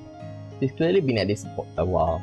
I was just getting some cleaning done, nothing like a shiny clean room to take your mind off things, right? She grimaces, then seems to remember herself and covers it up with a giggle. It feels false. Is something wrong, Tammy? What? Oh, oh no, of course not, Tammy assures you. She hops down off the chair and gives you a brief little squeeze. Gosh, that's so nice of you to ask. You fix Tammy with a look and, and her smile falters. I mean, it's nothing, she says. I just, um, I overheard something I shouldn't have. Um, she says looking around the ground. When I was getting something from the pantry, I overheard some of the adults in the kitchen talking about how the trippet stock from the last harvest has all some um, weird mold on them, and they have to throw almost all of them. She tugs on her ear miserable. I just remembering being so hungry, and if we ever run out of food again.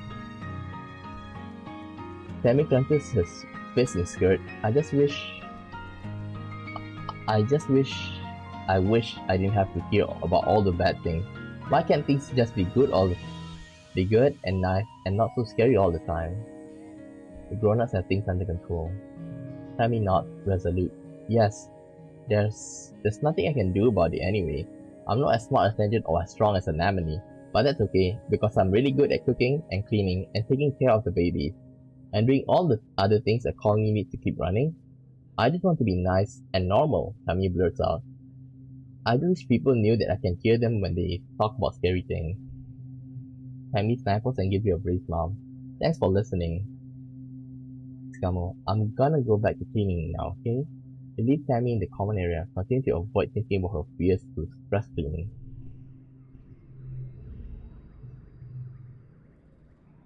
What do you say when someone like you says, biting her lip? I know Cal literally my entire life. It's so it's so wonderful that she giggles and hides her face. We've known each other for 17 years, and I don't know how to talk to him now. Yeah, I got your present. Ah, it's not her birthday. During Fallen. We gotta find her birthday. So next month I'll give her.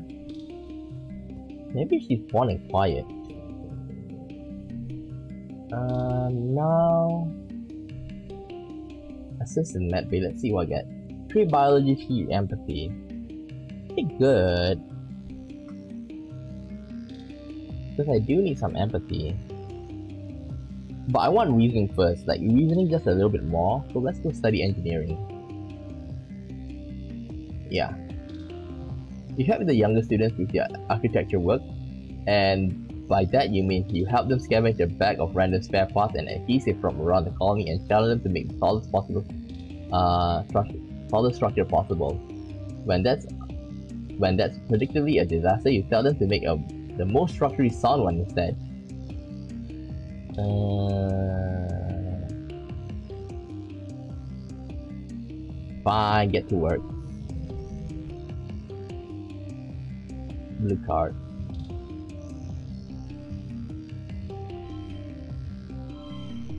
Okay, maybe not. Maybe not engineering now. Let's help out in the med bay. At least it increased our empathy.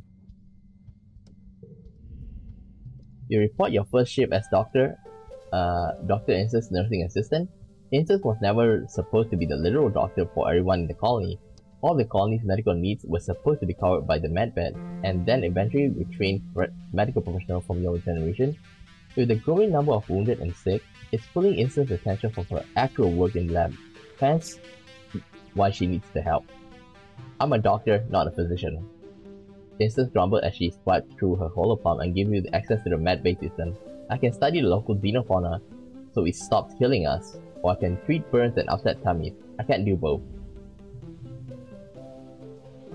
There, she says, as as the haptic in your holopalm falls. You should have access. Now don't bother me for anything less than a cranial bleed.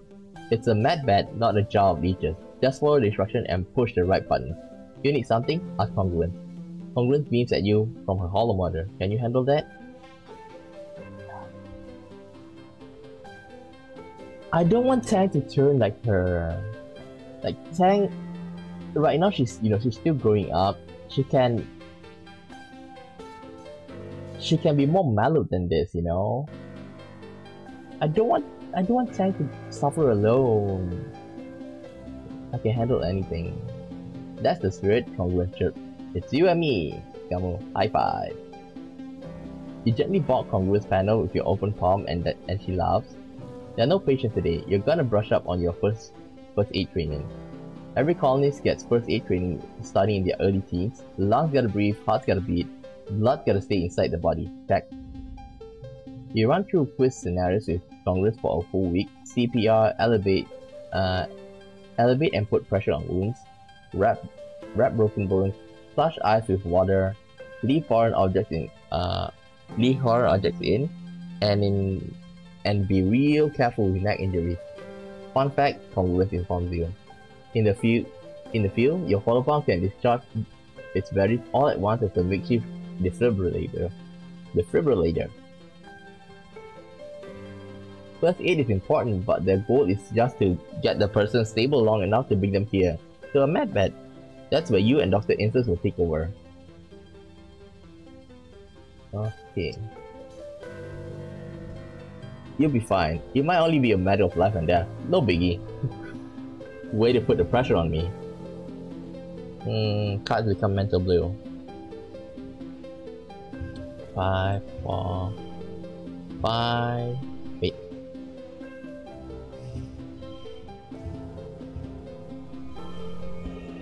Nice. Win.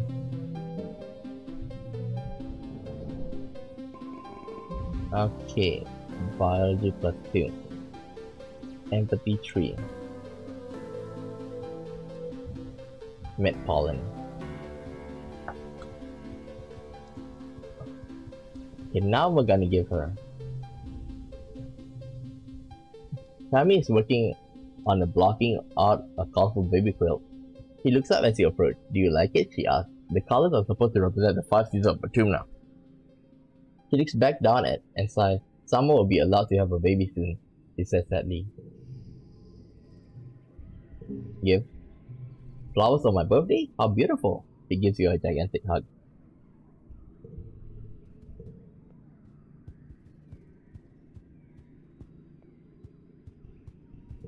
Wait. I'll, I'll do it later. Rex and Nomi are curled up together, his head on their lap, as they watch something on Nomi's holopalm. Nomi pauses the show and Rex grumbles sleepily. He must have, have drifted off. Hi hi, Nomi says, scratching behind Rex's ear. Do you want to watch Turbo Girl Hyperjet transform with us? We're almost ready to start the OVAs. I have a present for you. He likes crystal. Okay, we have quite a number of them. Let's just give him that. Mixed rainbow. Thank you so much uh, creativity. Give me a second. Give me a second.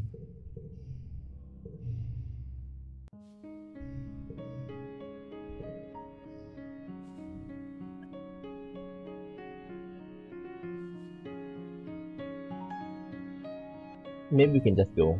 More importantly, you okay? maybe we can make up a new ending. Third one. Okay, we've read through this earlier just now. I get that it's hard. Wait, wait, wait, wait. Maybe we can change something. Maybe we can change something.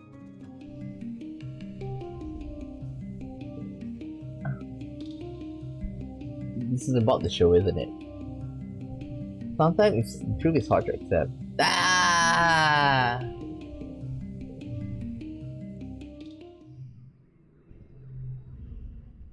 Okay? This isn't about the show. I get it, that's hard. Okay. Let's go around. Okay, this. You spot Dys uh, about to head out on expedition. He's carrying a full backpack with a second one at his feet, full of surveying equipment. As you approach, you realize he's writing in a notebook. An actual notebook with paper and everything. Ah, uh, probably like trying to keep it away from Congruence. He looks up at you as you approach and closes his notebook, slipping into the jacket pocket over his heart. Oh hey Tsukamu, he says. Tuck the pen behind his ear. Are, are you coming too? That's cool. Maybe we'll be posted near each other. Why are you writing? Just stuff, Dys says dismissively.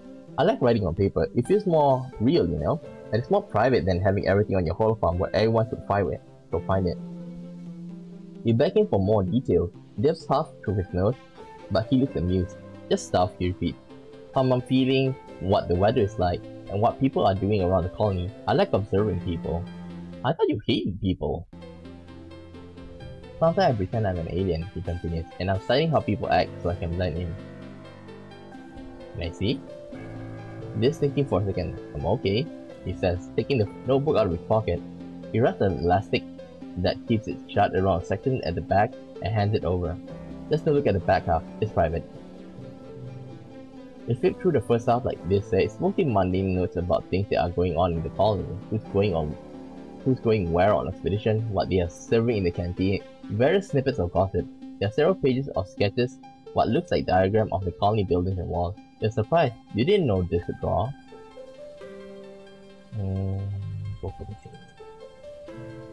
Instead they left you uh, half, forbidden back half, and Dys shouts and tackles you fighting for control over the book. He wins eventually, but you not before you catch a glimpse of what's within the pages. Tim stares face stares back at you, beautiful and alien. Dys has rendered him in exquisite detail. Ah. Well, I, at least we know that he... Mm, what were you writing? Can I see?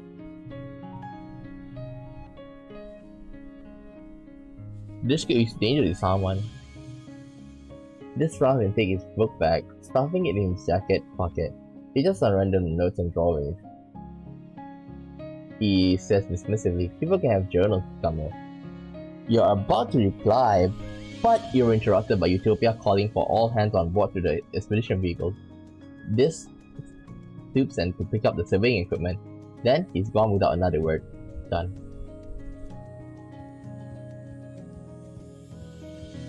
Anything else? Guess not.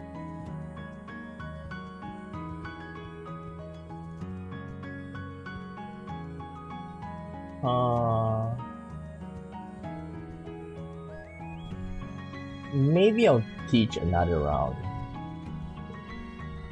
I'll think I'll to get the organizing. I want to get the robotics engineer, but I'm still quite far away, you know. Okay, let's go for this. Thanks like you down uh, in the hallway. Oh, Tsukamu, do you have a moment? You go on expedition sometimes, right? She asked. At least far more than I do.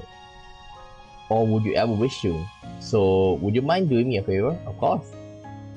It's a small thing, really. And I am understand I'm it's not terribly dangerous either, Tang replies. I simply need to bring some Popeye egg the next time we come across a nest out there. I would ask this, but, well, he makes an evocative, dismissive gesture. I'll keep an eye for them. That's all I ask. They're quite common. If the reporters from the forages are to be, to be believed, they tell me that they are more commonly find nests in Valley of Vertigo. It's possibly lousy with them. Yeah, just nice, because I'm planning to go there as well.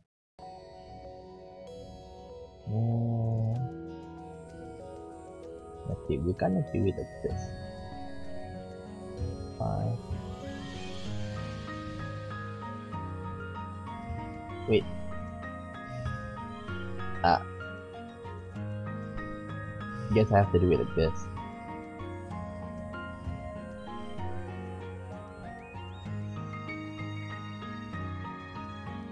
Wait, wait, I got an idea. Sometimes rearranging is also very important. There we go. Wait, wait, just how we did somehow. Ah, four, five, six. Okay. Cool.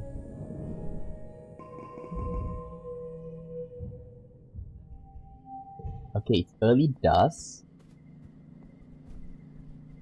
Nomi Nomi. Nomi Nomi is mid dusk, right? Yep. Nomi Nomi mid dusk. Tammy. Present.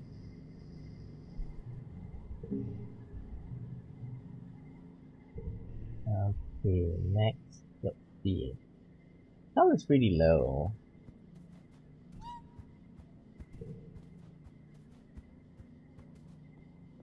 Any more? Nope, nothing. I gonna need to get some marsh log wood. Okay, there's one. We got the devil.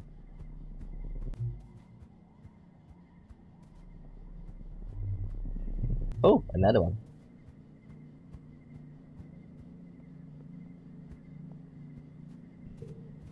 Okay, give him some marsh log wood. Shoot you a star smile. Nothing a dog likes more than a stick, right? Okay. Now, hugs incoming. Ooh. You find Rex in an empty space outside the lounge, setting up a construction projector, photo projector, and running through the different projections of future buildings, taking notes on each. He looks up from his holopalm as he approach and bursts into a huge smile. But hey, Tsukamu, what's going on? Rex picks up uh, a thumb and his chest. You're looking at the newest member of the colony construction crew. I'm surveying the colony for places to build new private family quarters. People are gonna wanna raise family here soon, isn't that isn't that real? Families? Yeah, Rex says, beaming with excitement.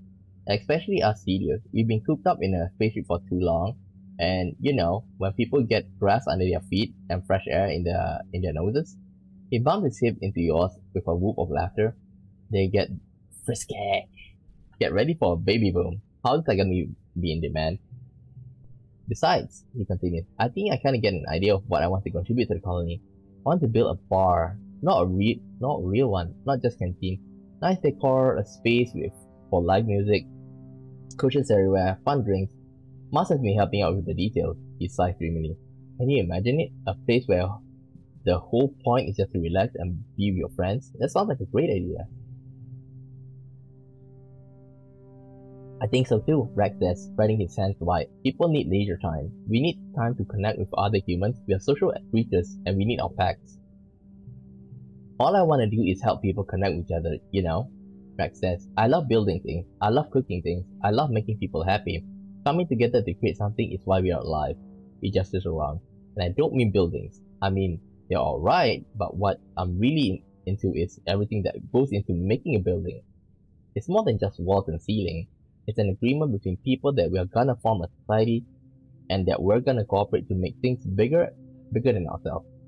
And then we're gonna meet them in space. Oh, in peace. Plus 2 is pressed over for 50. Rex shakes his head, clearing his thoughts. Sorry, I'm just really passionate about this stuff. He laughs. This and hugs. We humans are also good at hugs. Rex rubbed his thumb across his chin, thinking, Hey, actually, can you help me? Can you bring me any marshwood sticks or logs you find? I want to start stockpiling them, so when I get approval to start building the bar, we're good to go. Of course I will. Rex bounces his heels and launches into a huge hug. Thank you, he exclaims. I really appreciate it. If you find any, just bring any just bring them to me. Um, let's go. We're gonna go to the valley since we got the uh, the forage and also if you remember um, that that that ruin over there, the um, the one where we get the source of all the shimmering. Like they say in dust, it is dust, right? It is dust. Dust is when it's very uh, the sun is at, at its peak, meaning that um, it neutralizes the shimmer. Okay.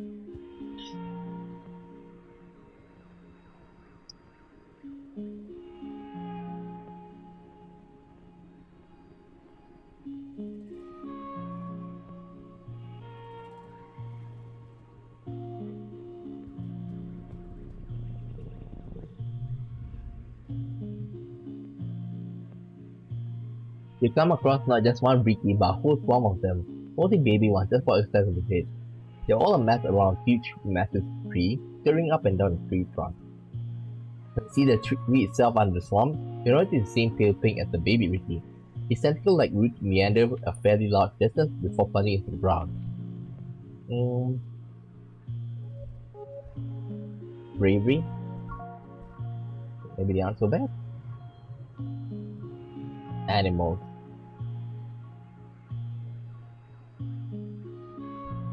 Okay, give me a second. I think we did this before. Let's try the, the challenge. Combat.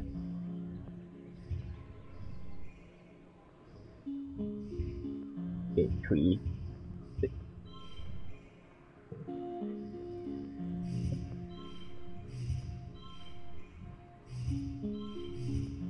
Wow, it's 19 at the end.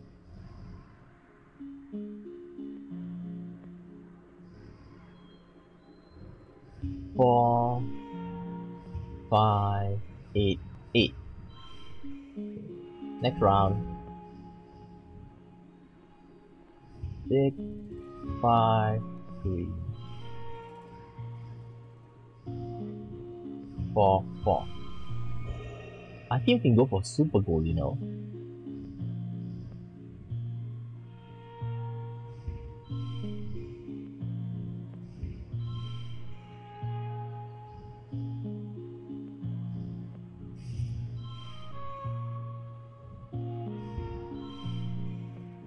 Wait, I got an idea.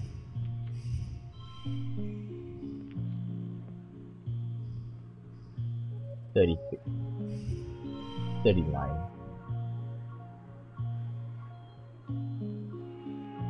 Uh, okay, fine. Win. Well, it wasn't that wasn't so hard. You smack a couple of them to the ground, and the rest got up to the boughs and hide there. You pop your chest and bravely walk on. Popeye... Uh, try to catch it. We went through this before.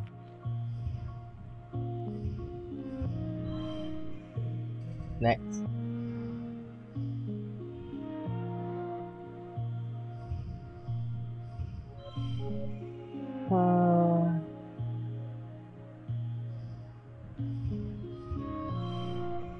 Okay, nice. All five.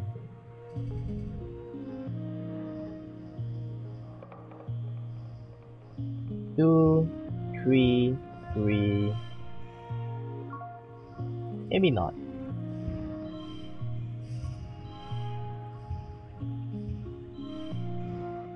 Ooh, should I push through? I don't want to get too stressed up, you know. We push through, but then another booster buff for the Geoponic for you're getting good at this. Uh, not now. Not now. Maybe we'll come back here later, okay? Maybe we'll come back here later. Oh, Sam's there. Your path is blocked by a massive 8-leg xenofauna. Something is fighting. Ah, uh, okay, we went through this. Think to it and not a challenge.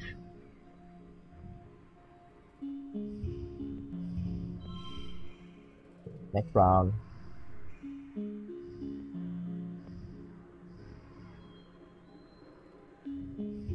Five. Wait. Okay, next. Make everything become... Okay. I don't want to stress myself out. Push through. Plenty stress. Animals plus two. This is a strange approach, but you've seen it work a bit. Sometimes music can soothe the, the savage beast. You even sing, you sing a lullaby, and the great beast looks at you with curiosity. Eventually, its eyes drift closed and it settles down, sucking its many legs underneath it. You must been too tired to begin with, like a toddler who skipped their nap, David. Empathy. Okay. Sam, you're walking around a trail and you're caught up by surprise. It's Sym, and he's running. You're knocked to the side as he pushes past you, running in the opposite direction with barely a glance. You shout and chase after him, but after a few seconds, it becomes clear where you don't have a hope of finding Sym when he doesn't want to be found. You turn and continue to uh, along the path, and around the, the next bend you find a familiar face. Utopia. She's collecting rock samples with a pickaxe, like an old-timey prospector. Who the hell was that? she demands. Um, it's just an alien named Sym. Utopia squints at you at a trademark rough humor. An alien, eh? Is this some kind of role-playing thing? She hikes her pickaxe and sh off her shou shoulder. Whatever, just watch where you're running, okay? The gavel's loose around here. You agree, happy to be out of this conversation without any trouble, and continues along the path before Utopia asks any more questions. You walk a couple minutes to see Sym again. He seems to be in good humor despite the close call. Oh, he says, leaning against the tree. It is tiresome to be so secretive. He up his eyes, brimming with mirth. It's such a pleasure to be around you and this, and to not have to hide myself. He sobers quickly. It would be best if you exercise discretion though, he says. It's not the time right for the gardeners to be formally introduced. To do so too to do so too early will cause great degree of chaos. Yes, even the female surveyor. He continues. I do like her, but I have learned my limited experience with your kind that adults of your species do not react well to surprises. It is it is great that you're here though, Sym continues, as I do need something from you. Data. What? Sym holds up his hand. Please do not be alarmed, he says placatingly. I do not mean sensitive information as your personal and defenses. I mean only the content of the digital culture archive, like holobits. Sym smiles. Yes, exactly. Your holographic recordings of movies, musics, movies, music, books, and cultural artifact only, I promise. Why? Well, Sym says, isn't it obvious? I wish to know more of your kind. I wish you learn how to. He struggles for the right phrasing. I wish you learn how to act in such a way that is not so dis- discomfiting to humans. I'll do it. Sym gentle smile grows warmer. Truly? He asks, clasping his hands. Oh, I thought it would take a great more deal more convincing. You're surprising. It's such a pleasure. You tell Sym that you can likely find a mem drive in engineering and fill it with the data at once. But you have a few questions on your own. That's fair. It must be frustrating to feel as though the truth is being withheld from you. The ignorance is not a yoke of your kind bears easily. Please trust me when I say that my inability to answer your question is one of circumstances beyond my control, and not a not a lack of desire on my part, he continues. I have full faith that you will know everything soon enough. Um, you come across a curious, sponge-like hive, pockmarked with holes containing wriggly grubs and oozing sweet-smelling syrup, Atop of the hive appears to be hive queen, looking like, oh, wait, her swollen abdomen is, is the hive. She's rooted here, probably drawing nutrients from the from the soil like a plant while she tends to her larva. Utopia mentioned these. These are squee digger hives. Watch closely, quietly. It's absolutely fascinating. The hive queen cooes to her children, who skitter in and out of her holes on her surface. Can kind of see where her eyes are used to be but now it's more mountain creature. She still breathes, but it's only what she can absorb from her legs, which have become weak. The larva children pinch her when they are hungry. She groans, clenches, and out the hole oozes a sweet smelling jelly. Hmm. Let's try and sneak up and harvest.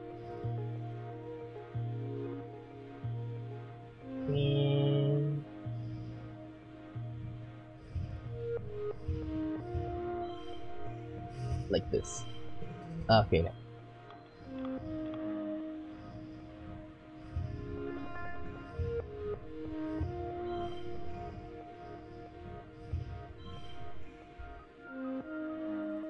Next.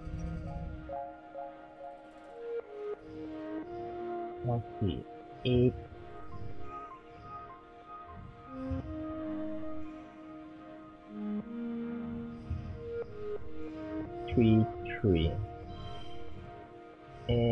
And another three. Good. Done. The compound queen has only rudimentary danger sense, Squeedicker hives can be very defensive when they sense danger to their young, but so long as you don't set off the workers or, or the larva, you're free to walk right up to her. You gently avoid hurting any of the babies as you scrape her Canopius, copious honey into the collector. Uh-oh, I'm very stressed out right now. Uh, follow it. It. I might redo this. Okay.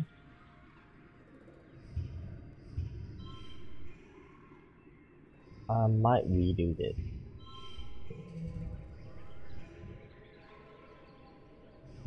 Hmm.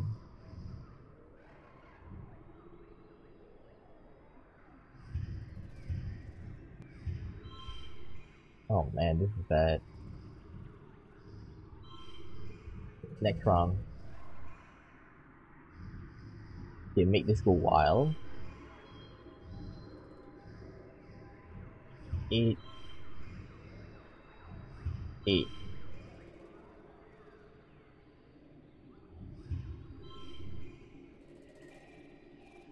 Uh, I don't want to use martial wood.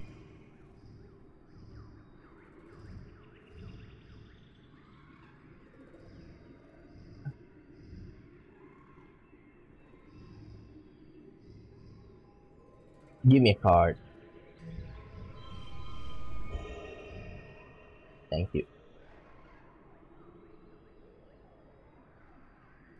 Okay, win.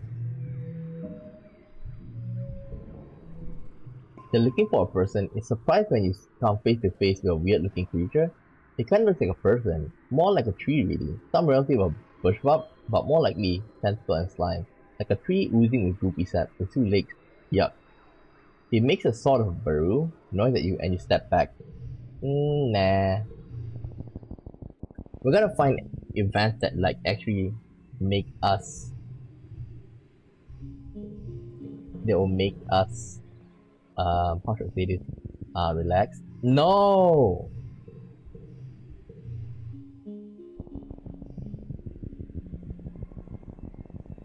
Go. Can move past it blue bubble fruit. Valley of Vertigo. Cluster of mushroom, eat one and steam. Okay, not this. We'll do this later, we'll do this later. Baba fruit. What's this? They come up to a lot, tree. Uh, take it. Uh, we'll come back. We'll come back. Like I say, we really need to reduce our stress. Quite a lot of stuff. We're really stressed out. And I don't want to come here a second time. You find a healthy bleb bush and harvest some of the leaves to bring back to the colony. Utopia's beyond excited when he sees you. Oh, bleb! She cried, shoving her hands right into the basket of rotting leaf. Tsukamu, you're a boy after my heart, my own heart. Okay, this one we went through last time. The chill.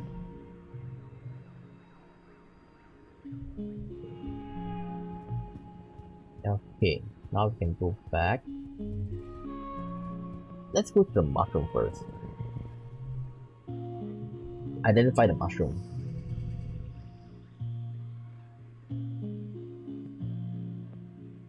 Everything is four. Oh well. I think this is good. Next.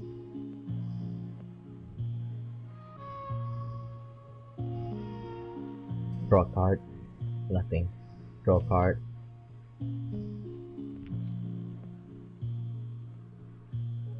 One more. Okay, fine. I'll go for it. Next round. I'll definitely use the red one now.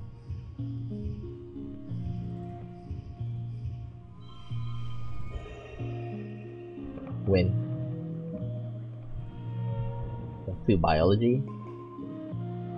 You're able to determine that these mushrooms are edible. You fill your basket with a big chunk of fungus. The chopper will be, will be pleased your haul. Great work. Um, just five kudos, eh? I thought like let's let's go for the Manticore event. Take it. Fight the Manticore. I want combat.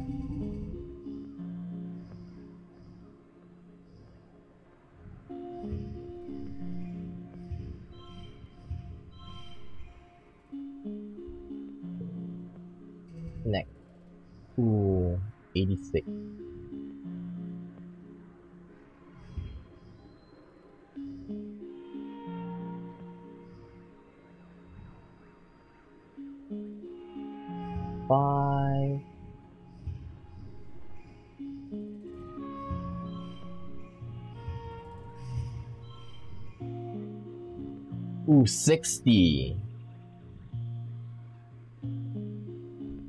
Next round.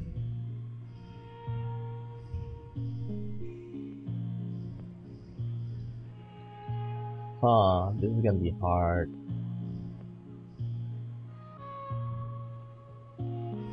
I might need to use the Xeno Egg.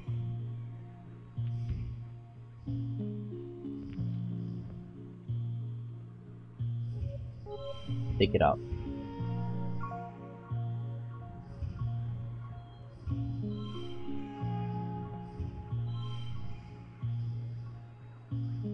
Wait. 80! Dang, it's hard. Give me a second. Give me a second. We'll we'll leave this first. We'll leave this first.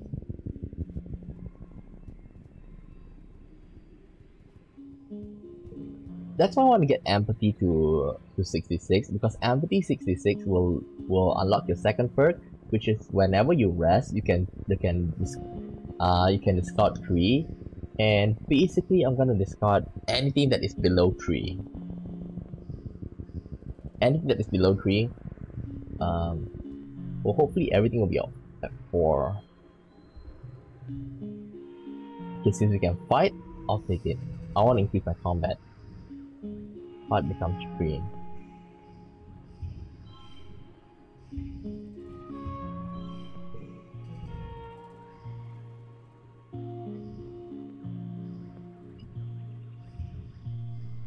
Three. Hmm. What affected? no point.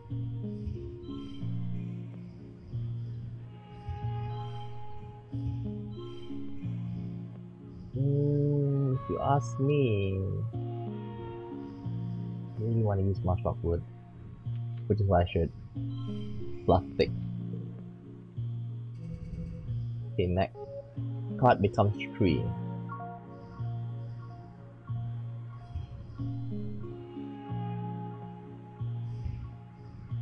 to this value.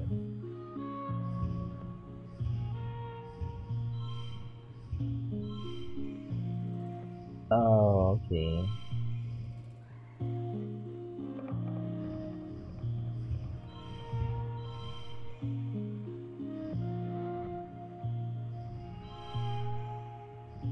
Give up.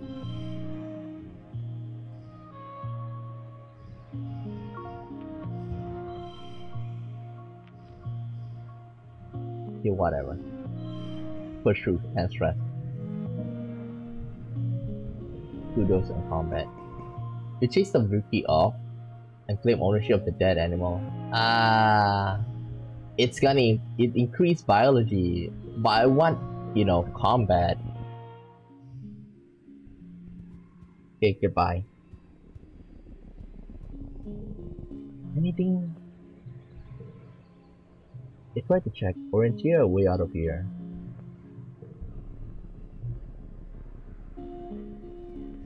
Nothing.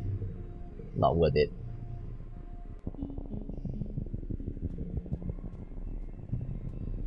Ooh, a manticore. I bet it's not gonna be easy. Wait, where's my cursor?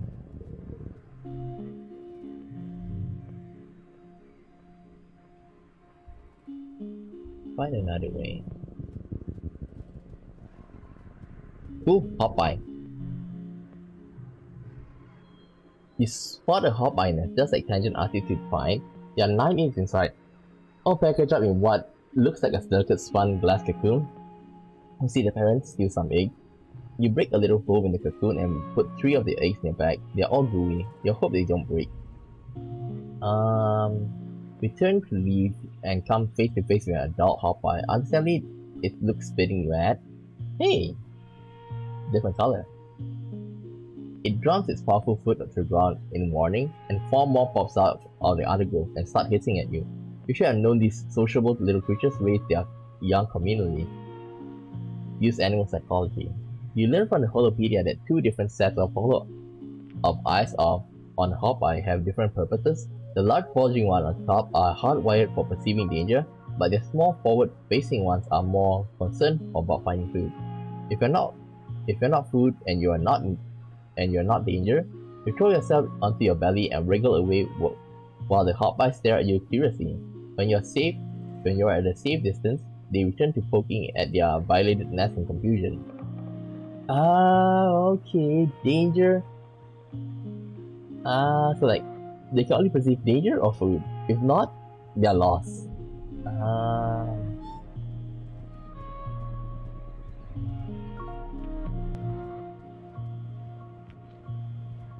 Let's go around. Maybe we'll see what this is. Climb up to it. Uh, nothing.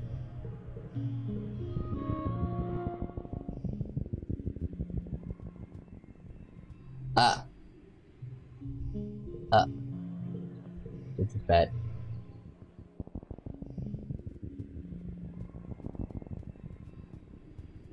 Valley of Vertigo. This. Uh, Water Dandy. How gorgeous flowers. Okay, never mind. Maybe I'll just... I wonder what we'll get for finding that, you know? For finding this. Take it. We're gonna go for toughness challenge.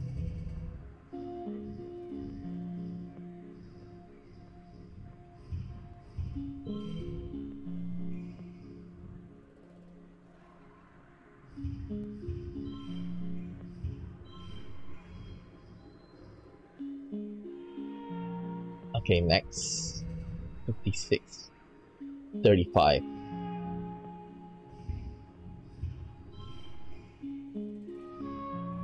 Five, four,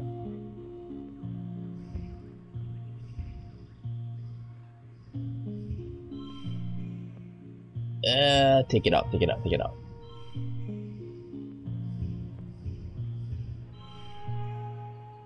Forty-five. Okay, on second thought, crystal cluster. Toughness.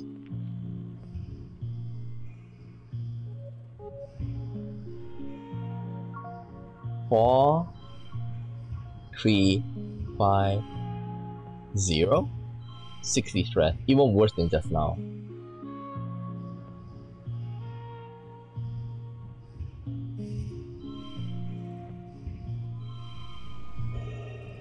Let's see what we'll, what we'll get.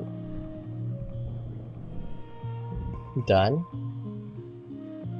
Member expeditions, thanks. Xeno egg.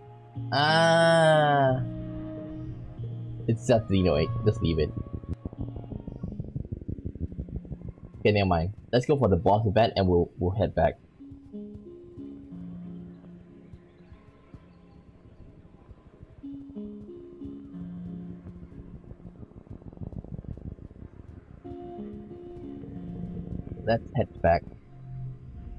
The Valley of Vertigo spans a huge and relatively safe area, so it's rare to see other foragers out here. It's surprising then to come across Utopia with two other forager, uh, foragers skulking in the underbrush.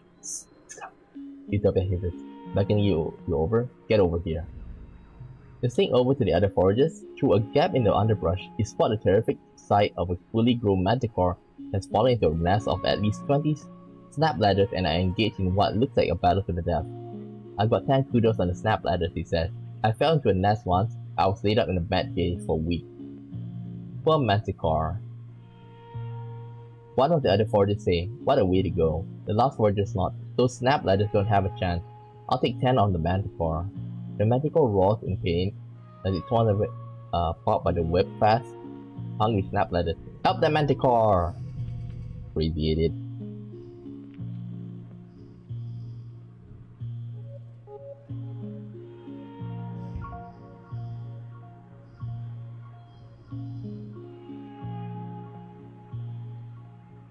Okay.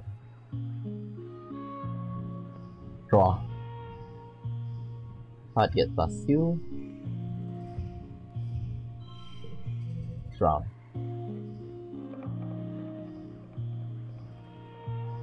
To use this.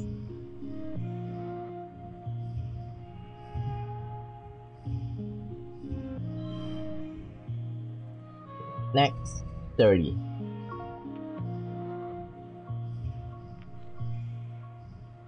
At the end here.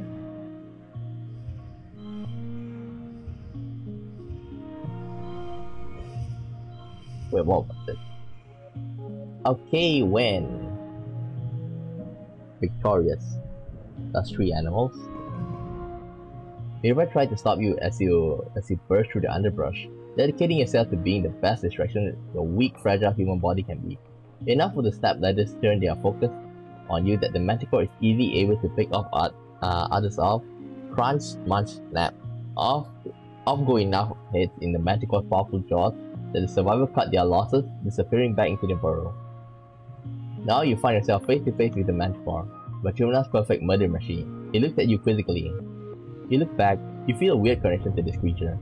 Suddenly the Manticore roars, lunging at you, lashing its green mane. Wisely, you scream in terror and get the hell away. Luckily, the Manticore is too wounded or too too wounded to bother chasing you. You and the other foragers make a way without uh, without any injury. Keep exploring. They seem to find a second relay, you know. Vertumnalia. It's Vertumnalia, everyone in high spirits as they decorate the colony square. The great tables are piled high with food, groaning under the weight of heaps of roasted and steamed vegetables, barbecued meat, stews, carafes and pulled up cider, and coffee dripping with frost, frosting sugar bug syrup. You gather in the colony square for the usual speeches. Okay, this one, I think we don't need to read it. We've went through this last time. Happy Vertumnalia, this is a present for you on the table. XOXO, the secret admirer. You have a secret admirer? You unwrap a present, you snap it to your wrist and boot it onto your holopalm. It's full of all your favorite songs, videos, shows, and games. A collection created by someone who must really know you. Rise and Fall of Sanctuary Moon. Okay, this is Tang. Trivia. You're not going to have any pop culture question this year, right? Tangent stopped, her voice dripping with disdain. I just don't see the point. Why are we celebrating real intelligence? Luckily, Nomi doesn't overhear this. If they do, they don't care. They're just happy to be here. First collectible experience.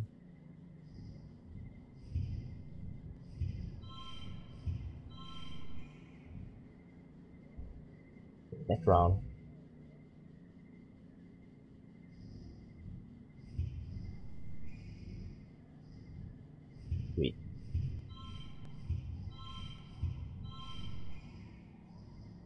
Ooh. Not bad. Nice to see. Next round. Um, I don't think this is good. So let's re re-roll.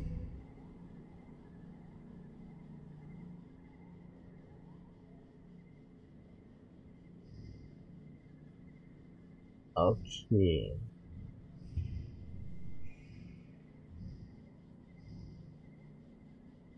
Dissecting a sugar bug.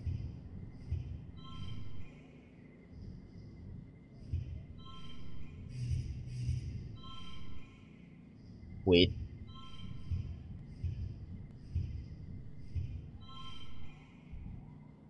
Sure. Can't.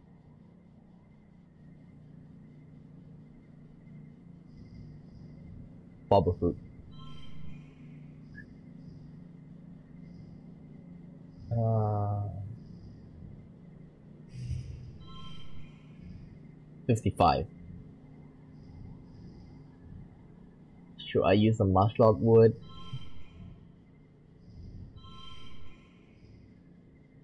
I think I should.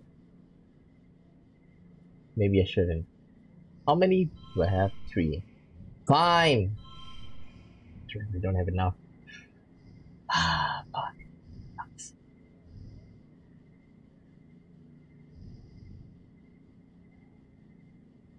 What should I do now?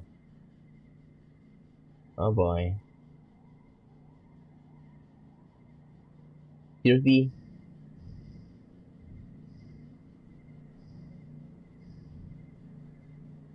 Okay, I think I need to redo.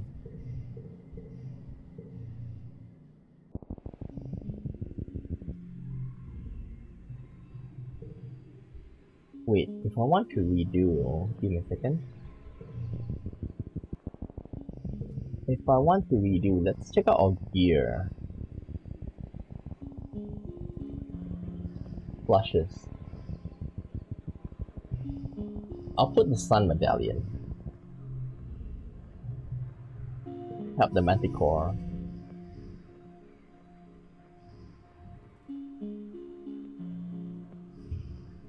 Draw. 515 this. Okay, next. We'll leave this for later. For...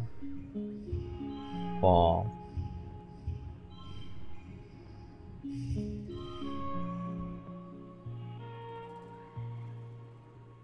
Uh, it's unchangeable.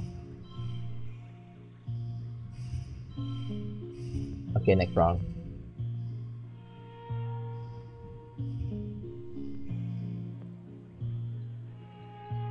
Eight.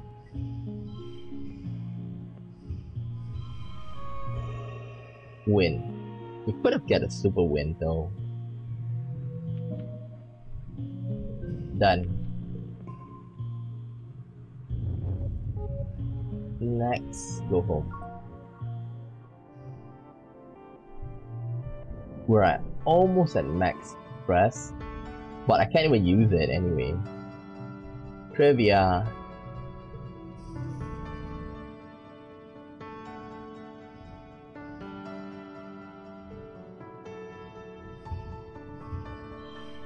Maybe... Okay, this is good. Next.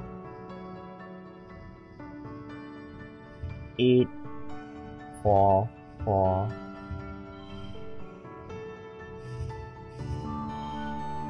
Okay, next round. 43.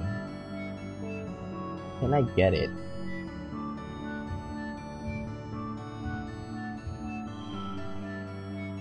Ten.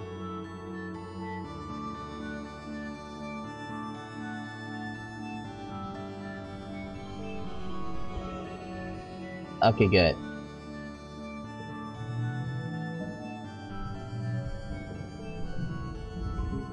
All of your hours spent watching HoloBits really paid off. You nailed the pop culture question and about half of the science and humanity as one as well. Nomi and Tangent are too specialized to beat you. Trivia star.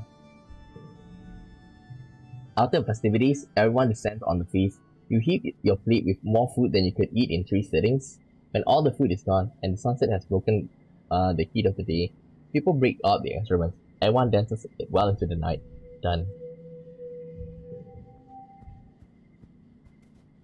What is it, Cal? Uh, no, no, this is not. Tang is my secret admirer. Where's Tang? Tang! My secret admirer. Are you my secret admirer? Well, of course not. I would never. The whole idea is I'm simply too busy. It's okay, I won't tell. Thank not and finally meet your eye. Good, he said. I don't want to make a big deal about it. Going for a smooch. Ah.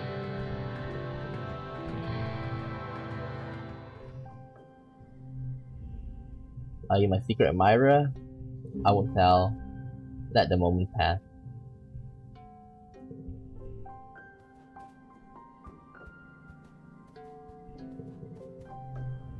Okay, it's your birthday. So let's give her this. A happy birthday to me. Nomi Nomi. I forget Nomi Nomi. 38. Nomi Nomi is at 38 now. Okay, I already gave her. What should I do now? I think I'll go with we need to work, okay? I think that going to botany is the best. Biology organizing. Back in the lab, you have all the right equipment to properly examine that radioactive plant you found. Maybe we can find a way to protect yourself from them so you don't need to drag a radiation-proof virus suit with, with you every time you go to that part of the planet. The radiation poisoning isn't the killer like uh, it used to be on Earth. With medbeds, you can flush out deadly doses of radiation in a few hours. It could still make you really sick though, and high enough doses could kill you before you even able to reach the medbed. How confident are you that you know how to protect yourself? Super confident, no problem. Yeah, you totally got a, work, a handle on this. You're an engineering wonderkind. You take all the correct precautions and clear the area of anything that might be contaminated. You wear radiation-proof hazmat suits and regularly check the radiation levels of the lab and your congruent standby uh, to call for help if needed. Everything goes smoothly. You discover that the radio part, radioactive part, okay, this part, I think we've read through it last time.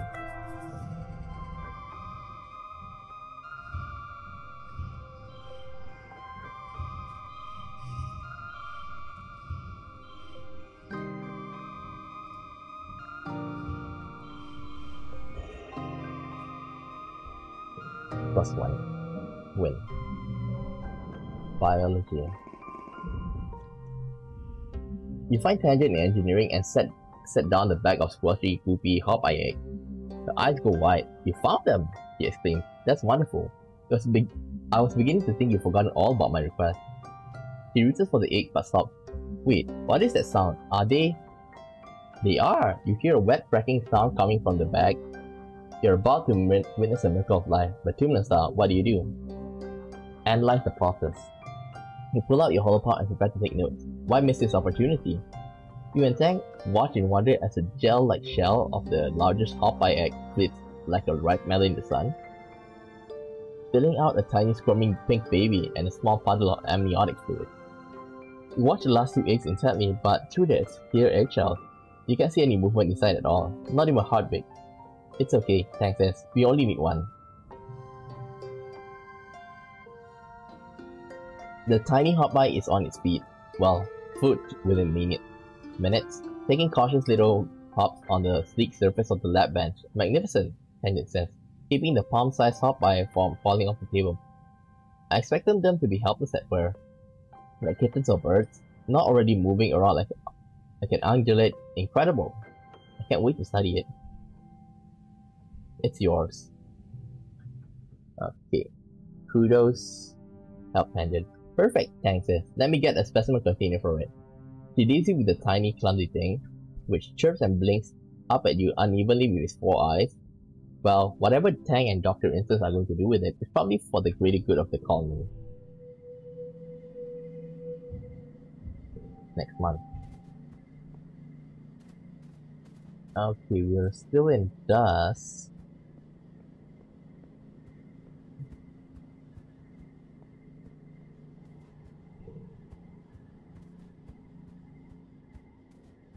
Yeah, there's nothing. Maybe we can go on to the Xenobotany and do again and see if if there's any more events. The important part is to trigger the events.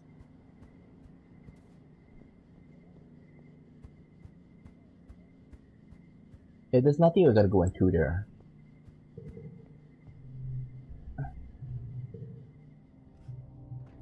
He's away to only found Black Rat shortly after the colony landed on Vertumna. Ah, uh, this one. Give it a tangent. Neighbors become sensing on humans. Help tangent. Yep. I will always help tangent. Uh, uh, I'm cutting you off. So this one I remember like she she's gonna get addicted to it.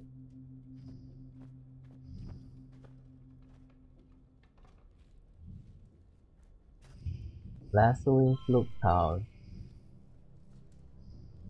Uh, I think it's better for us to redraw. Wait,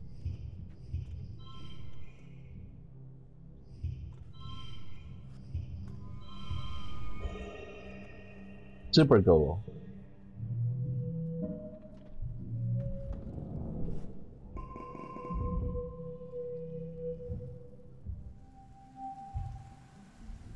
Next month. A wet season.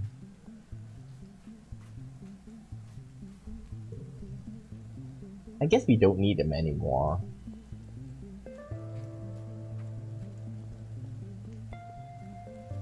No me, no me. Well, it's not her birthday this this season.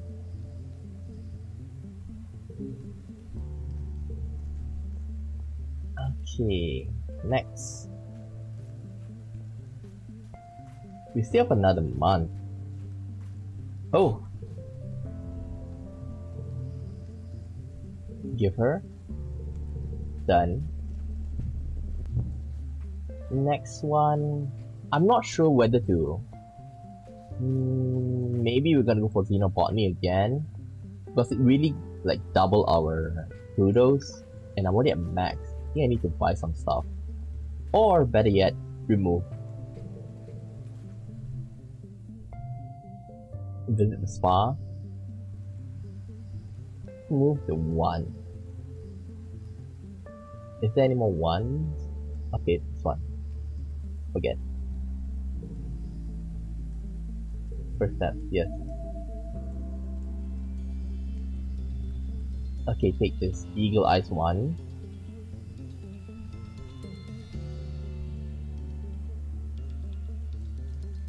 Eagle Eyes 2. forget it. Okay, we're done.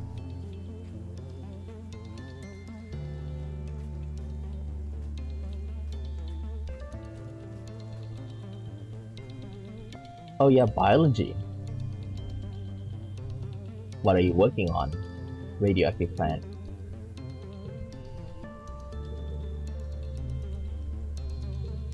Xenobotany. Okay, this this there's no event. Let's go and tutor.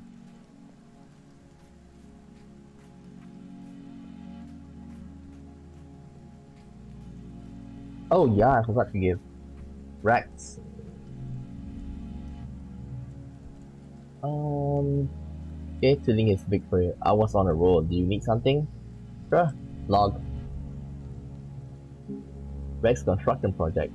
Rex beams a ha happiness as you hand over the mushroom. What, really? I need this for building the bar. Thank you so much. Nothing a dog likes more than a steak, right? Okay. Tugs incoming.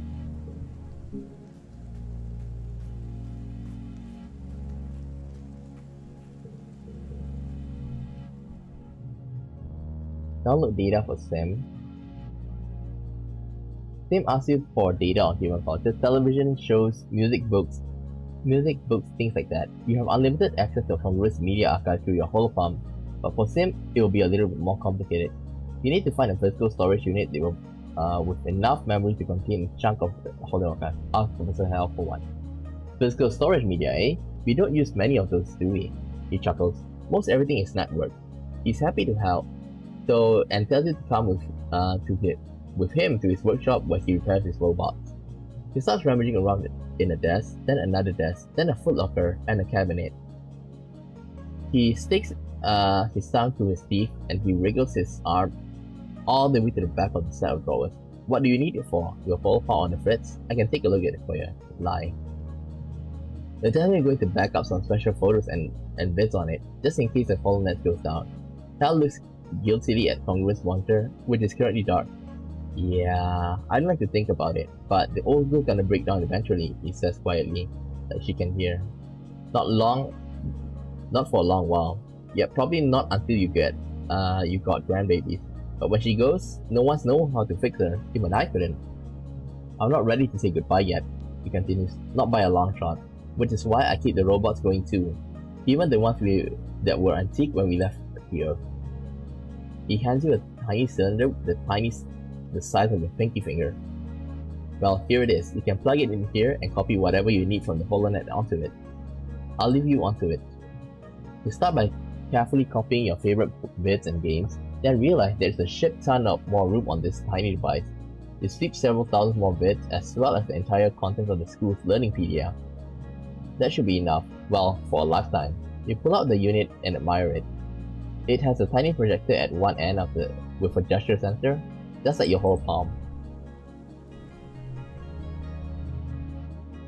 Okay, we're gonna tutor children because we want to get the reason, okay? Today you're tutoring Nougat and a couple of younger kids in ancient geog geography. They are learning the names of the countries by pointing the, to them on maps and saying a few facts about them. It seems kind of pointless to memorize places that these kids will never see, but it's not like you can teach them much about Vertumnan geography yet. They're still discovering it. Billions of people? Nougat says, skeptically squinting at the whole projection of Earth. How do they fit everybody onto one little planet, with all trees and animals and stuff? Was it all like a big colony? Learning about Earth too. Tell her the sad truth. We gave Nougat the little kid version, of the truth that you learned as a kid. We tell her that life on Earth was brutal and hard. Humanity destroyed the environment and fought over what was left. There were no trees and animals left, not as many as there should have been anyway. Most of the people were hungry, sick, poor, hungry, and sick, and the ones who weren't kept all the thing, nice things for themselves. At least your parents were lucky to escape on the stratospheric, and you were lucky to be born on it. You are all lucky to be here. No matter what, at least Vertumna is an Earth.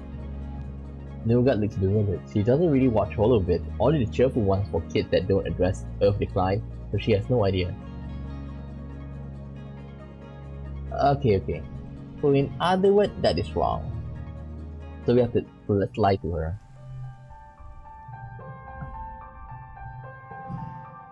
There's no point in crushing Nougat's optimistic view of humanity. Like all children, she knows that your parents left Earth because they were unhappy and wanted to live on Vertumna. There's plenty of time to learn the truth later. You weave a story about people living in harmony with nature, plant planting trees on the skyscrapers and grass boulevards where you where they used to be dirty roads. You figure some people probably did do that. Maybe the wealthy ones who weren't fighting all the time. You get doodles drawings of cities with grass growing on the roads. You had to correct her. Grass was greener on Earth, not purple.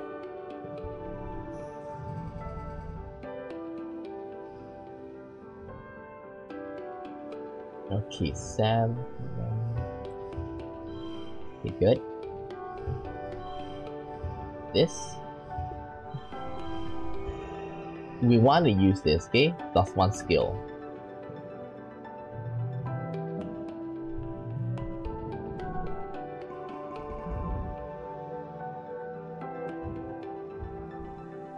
Mid wet. Auto fairy perk.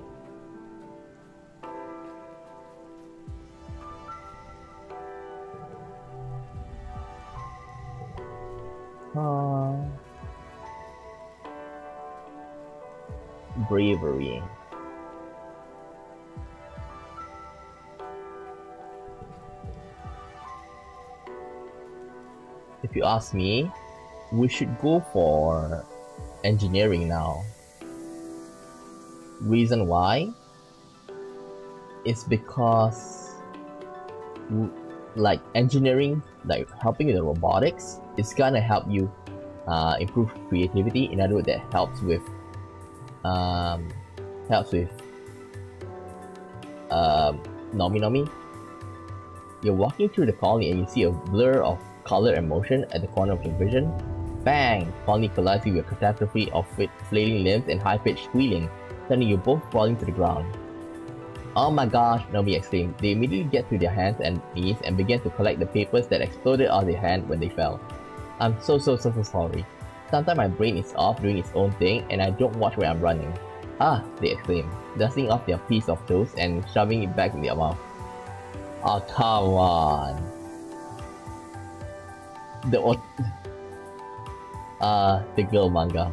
Gotta gotta gotta eat breakfast when you're even when you're late.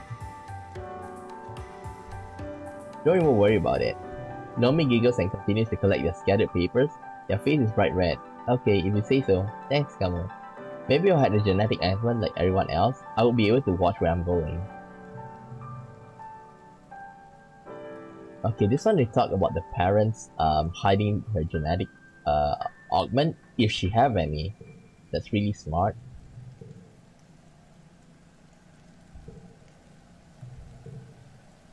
Okay, we're gonna continue. You don't suck at looking stellar hot. Uh, you sound like Rex, they laugh, and give you a little push on the arm. Mm, so she's not that happy about that. Every single point counts, okay? That's really smart. Everyone sucks at first it's the first step of to being kind of good at something. Nomi says brightly. That's from a show I used to watch. And I guess I don't suck at everything. They strike a pose with an imaginary laser pistol. I'm really good at laser fable. Pew pew! Okay. She had a crush on Rex, but I want her to change that to me, you know. Engineering? Wait. Wait, wait, wait. Do I have something that can improve on engineering? Uh, guess not. Give me a second. Let's double check. Engineering. Supply depot. Nope. No engineering.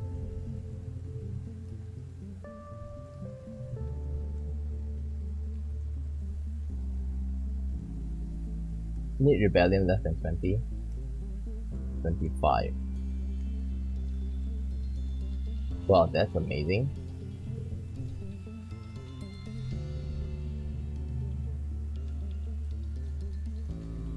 Me about working on depot again. Friendship with 10. Rebellion less than 20. I'll try and not to rebel so much.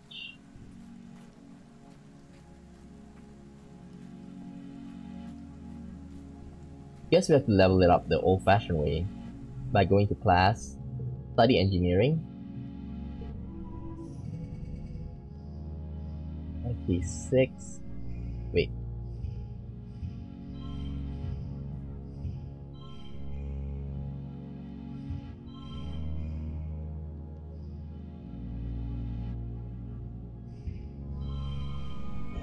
Win.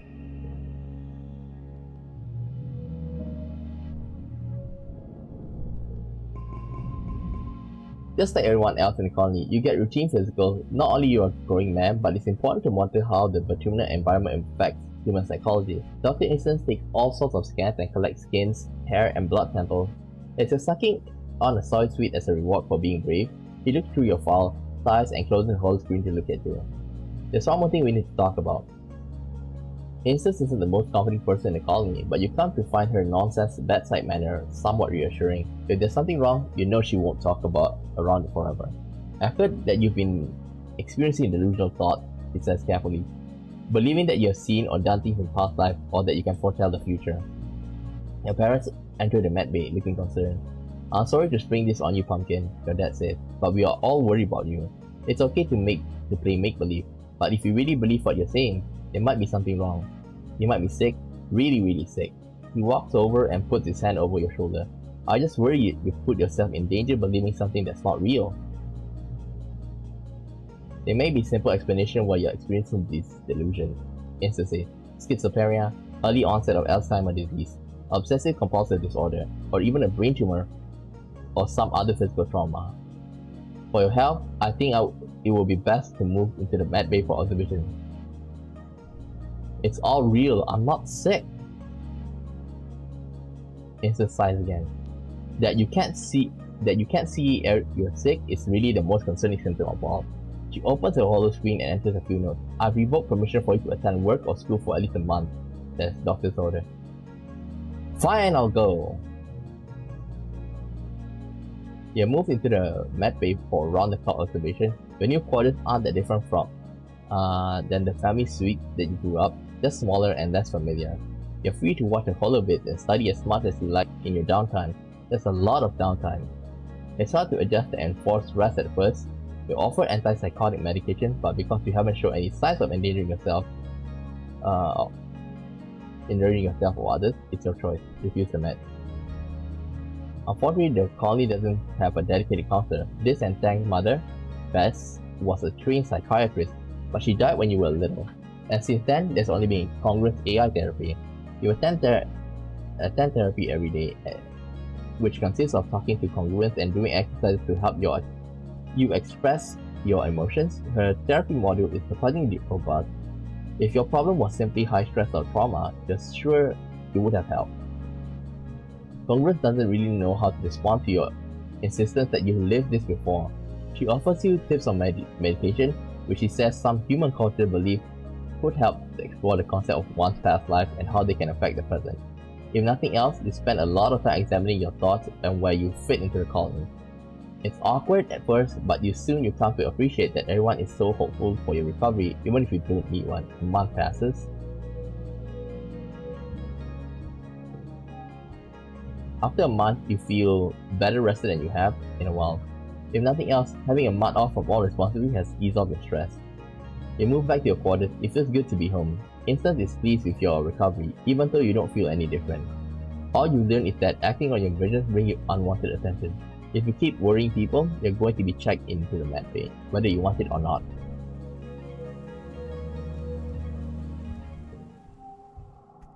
Okay, close season.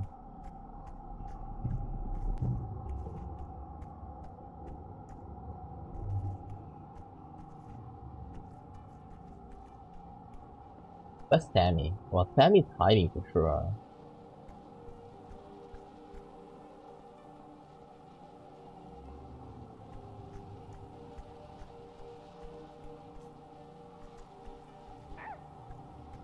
Now, where should I go now?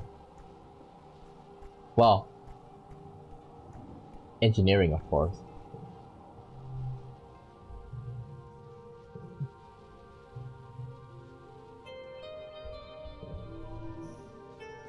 Okay, this is the last one. Then we can...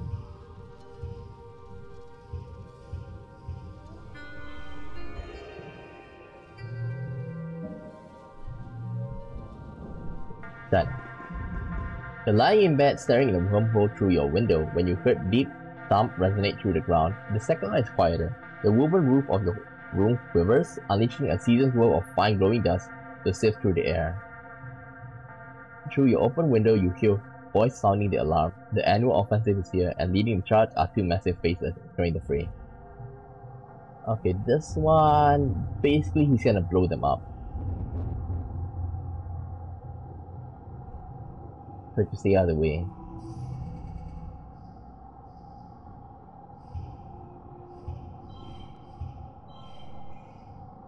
Heart becomes 4. Ooh. Not bad.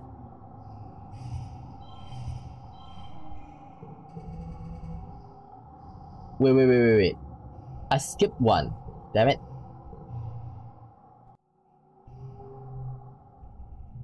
One study engineering. Okay, nine, nine, two, five, like this. Win. Okay, join in the fray. Perception challenge. Five, five. Next round. Six, four,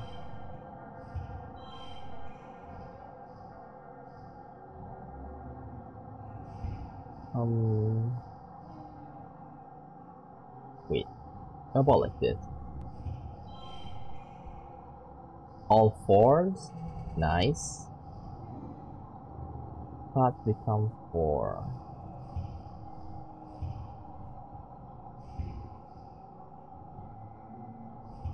Four. Four, four. Wait. Okay, win. I got out of the way.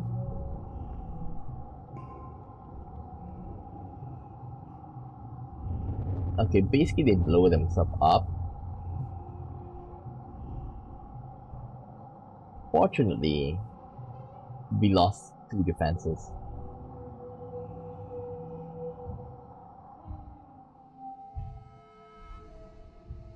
Start H17. Tang! Spot Tang heading behind the engineering wing, follow only to find that she's disappeared. Then you look up, see an access ladder leading to the maintenance platform. Okay, here is where we can romance her. Uh, are you okay? I know how to take the minds off things. Tang no wrinkles. Wait, you can't seriously mean, he says, then laughs. Maybe another time. I appreciate the thought, but I can't imagine romantic antagonist right now. Not with everything going on. But I'm not looking for romance. Initially this proposal, Tang says thoughtfully, did you get the idea from rumors about me and Marz? Tang sits up and slips her coat off her shoulders. Orgasm releases endorphins. Uh, they can provide temporary relief from the symptoms of depression, she says, then tips her head at you with cheeky smile. Not to put any pressure on you to perform, of course. Simply put, I could use a distraction. Releasing endorphin. No, I don't want it to do it like this. Blinks at you. You like me? He leans away from you, eyebrows furrowing. I'm sorry, he says. I don't think I feel the same. Well, I mean, I would have to think about it. Can you tell me what's going on? I don't think so, he says. Maybe, will you sit with me? You lie down beside Tang and watch the gentle revolution of the sky for a few minutes. You can feel the caginess seep out of Tang's as you lie there in silence until she finally speaks up. Do you ever think about humanity? She asks slowly. Humans are such glorious, beautiful, utterly self-destructive things, she continues. They only ever create by destroying, and in turn, they hasten their own demise. Tang finally looks at you, her hollow eye lighting up her cheekbone. He looks gone. It was the, was the belief in human supremacy and unchecked innovation that doomed humankind on Earth. Does it seem that we're going the same path here on Vertumna? I believe we can do better here. Ah.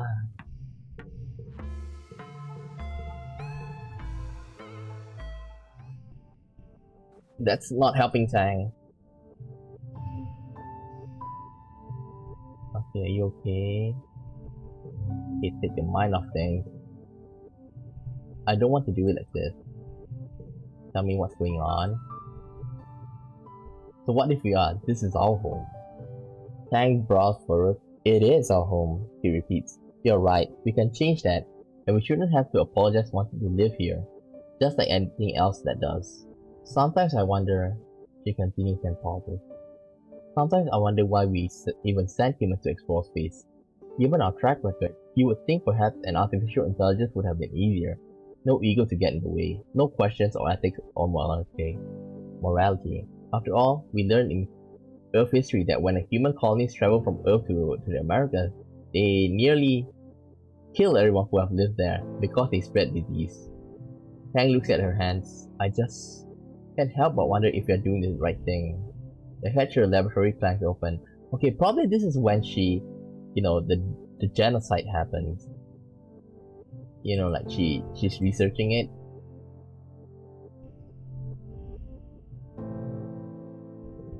Listening. Auto ferry.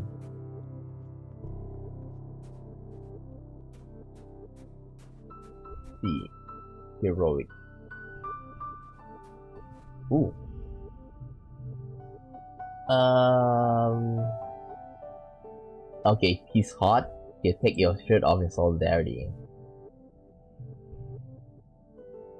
You must have found ways to have fun. Yeah, had known me, he says. We were misfits together, no matter what. We always have each other. But your present. Cancel. Hugs incoming.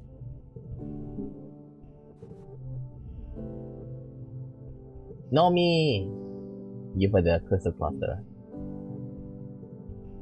Let's see. 45. Well, we're halfway. And we still have around 3 to 4 years to go.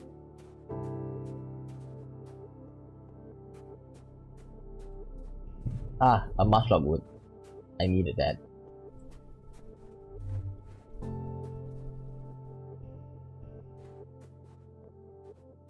We gotta give Tammy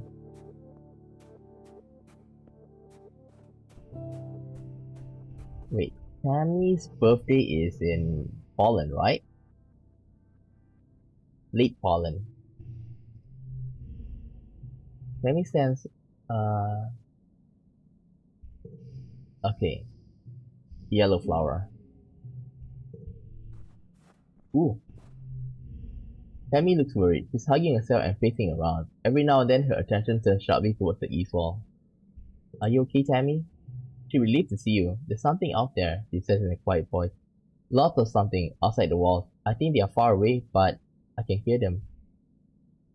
What do they sound like? It's like she struggled to describe the sound.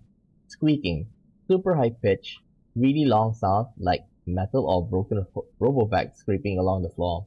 Only there are hundreds of them. You shudder at the thought.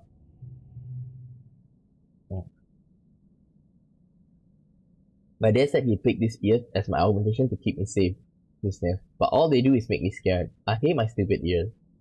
He bats at them uh, with her fist. Here. Tears spring to her eyes. It's okay to be scared. She gives you a long searching look. My dad always said being scared is an opportunity to do something brave, but You are lucky to have such cool ears. You really think so? She leans, uh, she lets you lean in close for a close, for a good look at her enormous elf-like ears. You wonder what's like to be, uh, it must be like to have such sensitive hearing. Can she hear the grass growing? Can she hear you, your heartbeat? I have an idea. That makes confidence. You ask if you considered noise cancelling sound. The sub subdermal jawbone conducting Ear speak for her holopalm could calibrate it to dampen or block out certain frequencies. It takes a moment to park what you think, oh, I never thought about that. I'll try it. I wonder if, I, if I'll still feel like me without my special hearing. Yeah, they're neat. It's I heard that her amazing hearing could be a great garrison lookout, or a musician, or a spy. He looks at you dubiously. I I don't think I want to be any of those things, but thank you, he smiles. You're a good friend, Scammo. Please don't let my dad know I said I didn't like my ears, she says. Tammy is such a caring girl, it's unfair she has to suffer from her sensitive hearing, but so sweet she doesn't want to burden anyone. She gives you a big warm hug and says she's going to head inside soon because it's nice and quiet in there. You leave her rubbing you leave her rubbing one of her ears thoughtfully. Upgraded memory, Tammy's character. Okay. I think I can apply for engineering. Wait, what time is it now? Oh, it's already 12. Hmm. Well, I think I'll end the stream here, okay? Because, like, we went through a lot and mostly it's gonna be slog for now.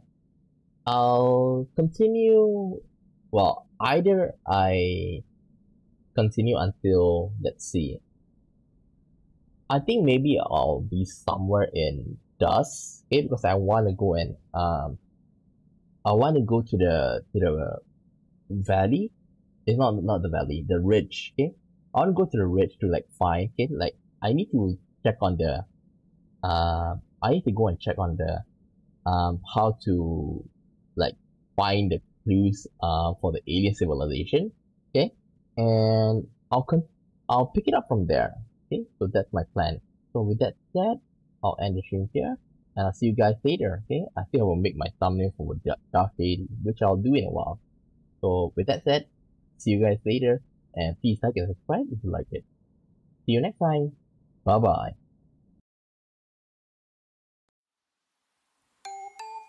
Mm-hmm.